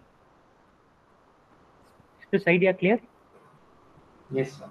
Okay, now where where does topological ordering come here? It comes here because if in a topological ordering, 2, 0 and 1 will be before 4. So if you consider any topological ordering of this big graph, and of which I'm showing only a part of it, a topological ordering has to look either like this or like this or like this. You agree? I mean, so there are like six three factorial permutations. I'm not I'm not listing the whole thing, uh, but anyway. So I hope you get the idea, right? So 0, 1, 2 is one topological ordering. Uh, 2, 1, 0 is one topological ordering. Uh, 1, 0, 2 is another, top, 1, 0, 2, 4 is another ordering. So in all these ordering, what happens? 0, 1, 2 should come before 4, right? In any topological order. So the idea is if you can compute the maximum path length for these three nodes before you compute it for 4, okay, if you can compute these path lengths like you have done here, right? You have computed three, two, zero, these path lengths, maximum path lengths before you have computed it for 4. So that will help you compute it for 4 also. Okay, is this clear? Why, what the basic idea behind longest path in DAGs? Sir, so why didn't Right, it- we, uh, why didn't we increment uh, zero like in the previous graph zero length? Yeah. This. So, so yeah, now maybe we'll start from first, right? So here we are, so we are doing two things simultaneously, right? We are following, we are discovering the topological ordering and also updating the path length. So, so this four is going to be zero. Is that fine with all of you? Path length of four is zero. You can, the longest path to four is zero. You, you, you cannot reach four in any longer path than this. Yeah. Now you are trying to remove 4 from the graph. Okay. Update the path length of 0, right? The longest path to 0 is currently, I, currently I know only 4's path length, right? So I know that at least it can be at least 1, one more than the, the distance to 4. So I update 0. Okay. Now what I see is, I, I, I know for sure that the longest path length to 1 is 0 again because no incoming neighbors. So uh, this, this this is also frozen. This path length is also frozen. So now notice the current maximum value of node 0 is 1 the longest path to 0 currently is 1 the longest path via 1 is also 1 0 plus 1 therefore i don't update this this value. Okay was that clear? Yes, sir. okay no so you don't update but you update this because earlier it was 0 now i know that this is 0 so this is 0 plus 1 i can at least say that this has to be 1 this also has to be 1 so i i, I can now remove 1 right? And uh, so now notice that 0 is the zero's path length is now confirmed because there are no incoming edges. This, this path length is confirmed. Current maximum is 1 but then there is a new maximum that is possible. One one more than 1 therefore you update this to 2 and you can remove the 0 node. Current maximum is 1 but you can do better than that. One more than that is 3. So you update that, you remove this. Now this has no incoming edges and that's the last node. So okay, so if you have to think of this in terms of courses, then it will take one three plus one, four semesters, right? So one semester, second, third, four semesters to complete the program. If this is the prerequisite structure for the five courses in your program, it will take at least four semesters to complete it. Okay, so that's all I had for today. Uh, any questions? Yes, Yeah. sir. Can I ask? Yeah, yes. Uh, sir, do we have any session for the practicing questions? Yeah, we have, so the TA sessions are, uh, the, the, the, these things will be discussed, right? The PA questions will be discussed then. So both like practice or and other questions also. So the coding questions will be discussed on Friday. The Yes. practice assignment will be discussed, I don't know, when is the next TA session? Uh, Tomorrow same time. tomorrow, right? Yeah, tomorrow 8.30 to 10.30, right? So that we'll discuss. Uh, so it says open session, but then you, you can discuss the practice then. Sir, I just have a concern. Like uh, in week three TA session, I didn't uh, attend it, but for week two, I have attended. Uh, but number of questions for practicing was very less, and uh, as you know, like PDSA is tough, uh, tough subject uh, than others. So questions are uh, like uh, uh, we, I'm not able to solve question or uh, maybe practice is very less. So Uh, okay, so more questions. I am not sure at this stage. One thing you can do, previous year's papers you can P- PYQ, can you take a look at PYQ? There'll be like lot of previous year questions by now, right? Uh, but sir, uh, like uh, in uh, statistic and maths, uh, there will be a session, or in many subjects like MLT and DBMS, uh, uh, in live session we do have question practicing. But PDSA is tougher than those subjects. Then why do we don't have questions practice in this subject?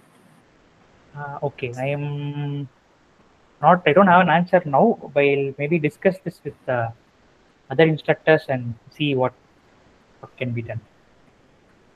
Thank you so much, sir. Yeah. Okay, anything else? Anyone? So YouTube, YouTube, YouTube link is available for this session, sir. Yes, yeah. This Can you give it?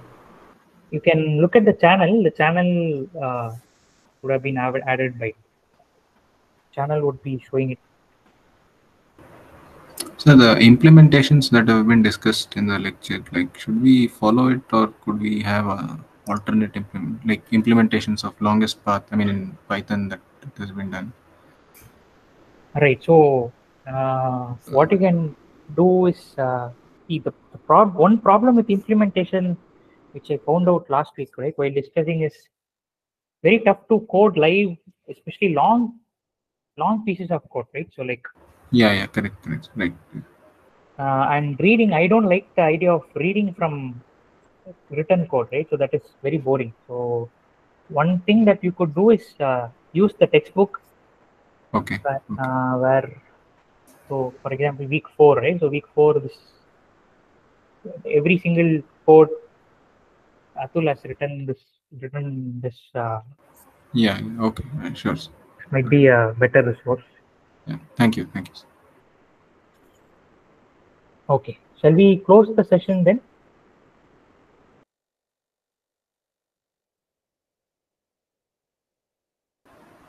Yeah, yes, sir.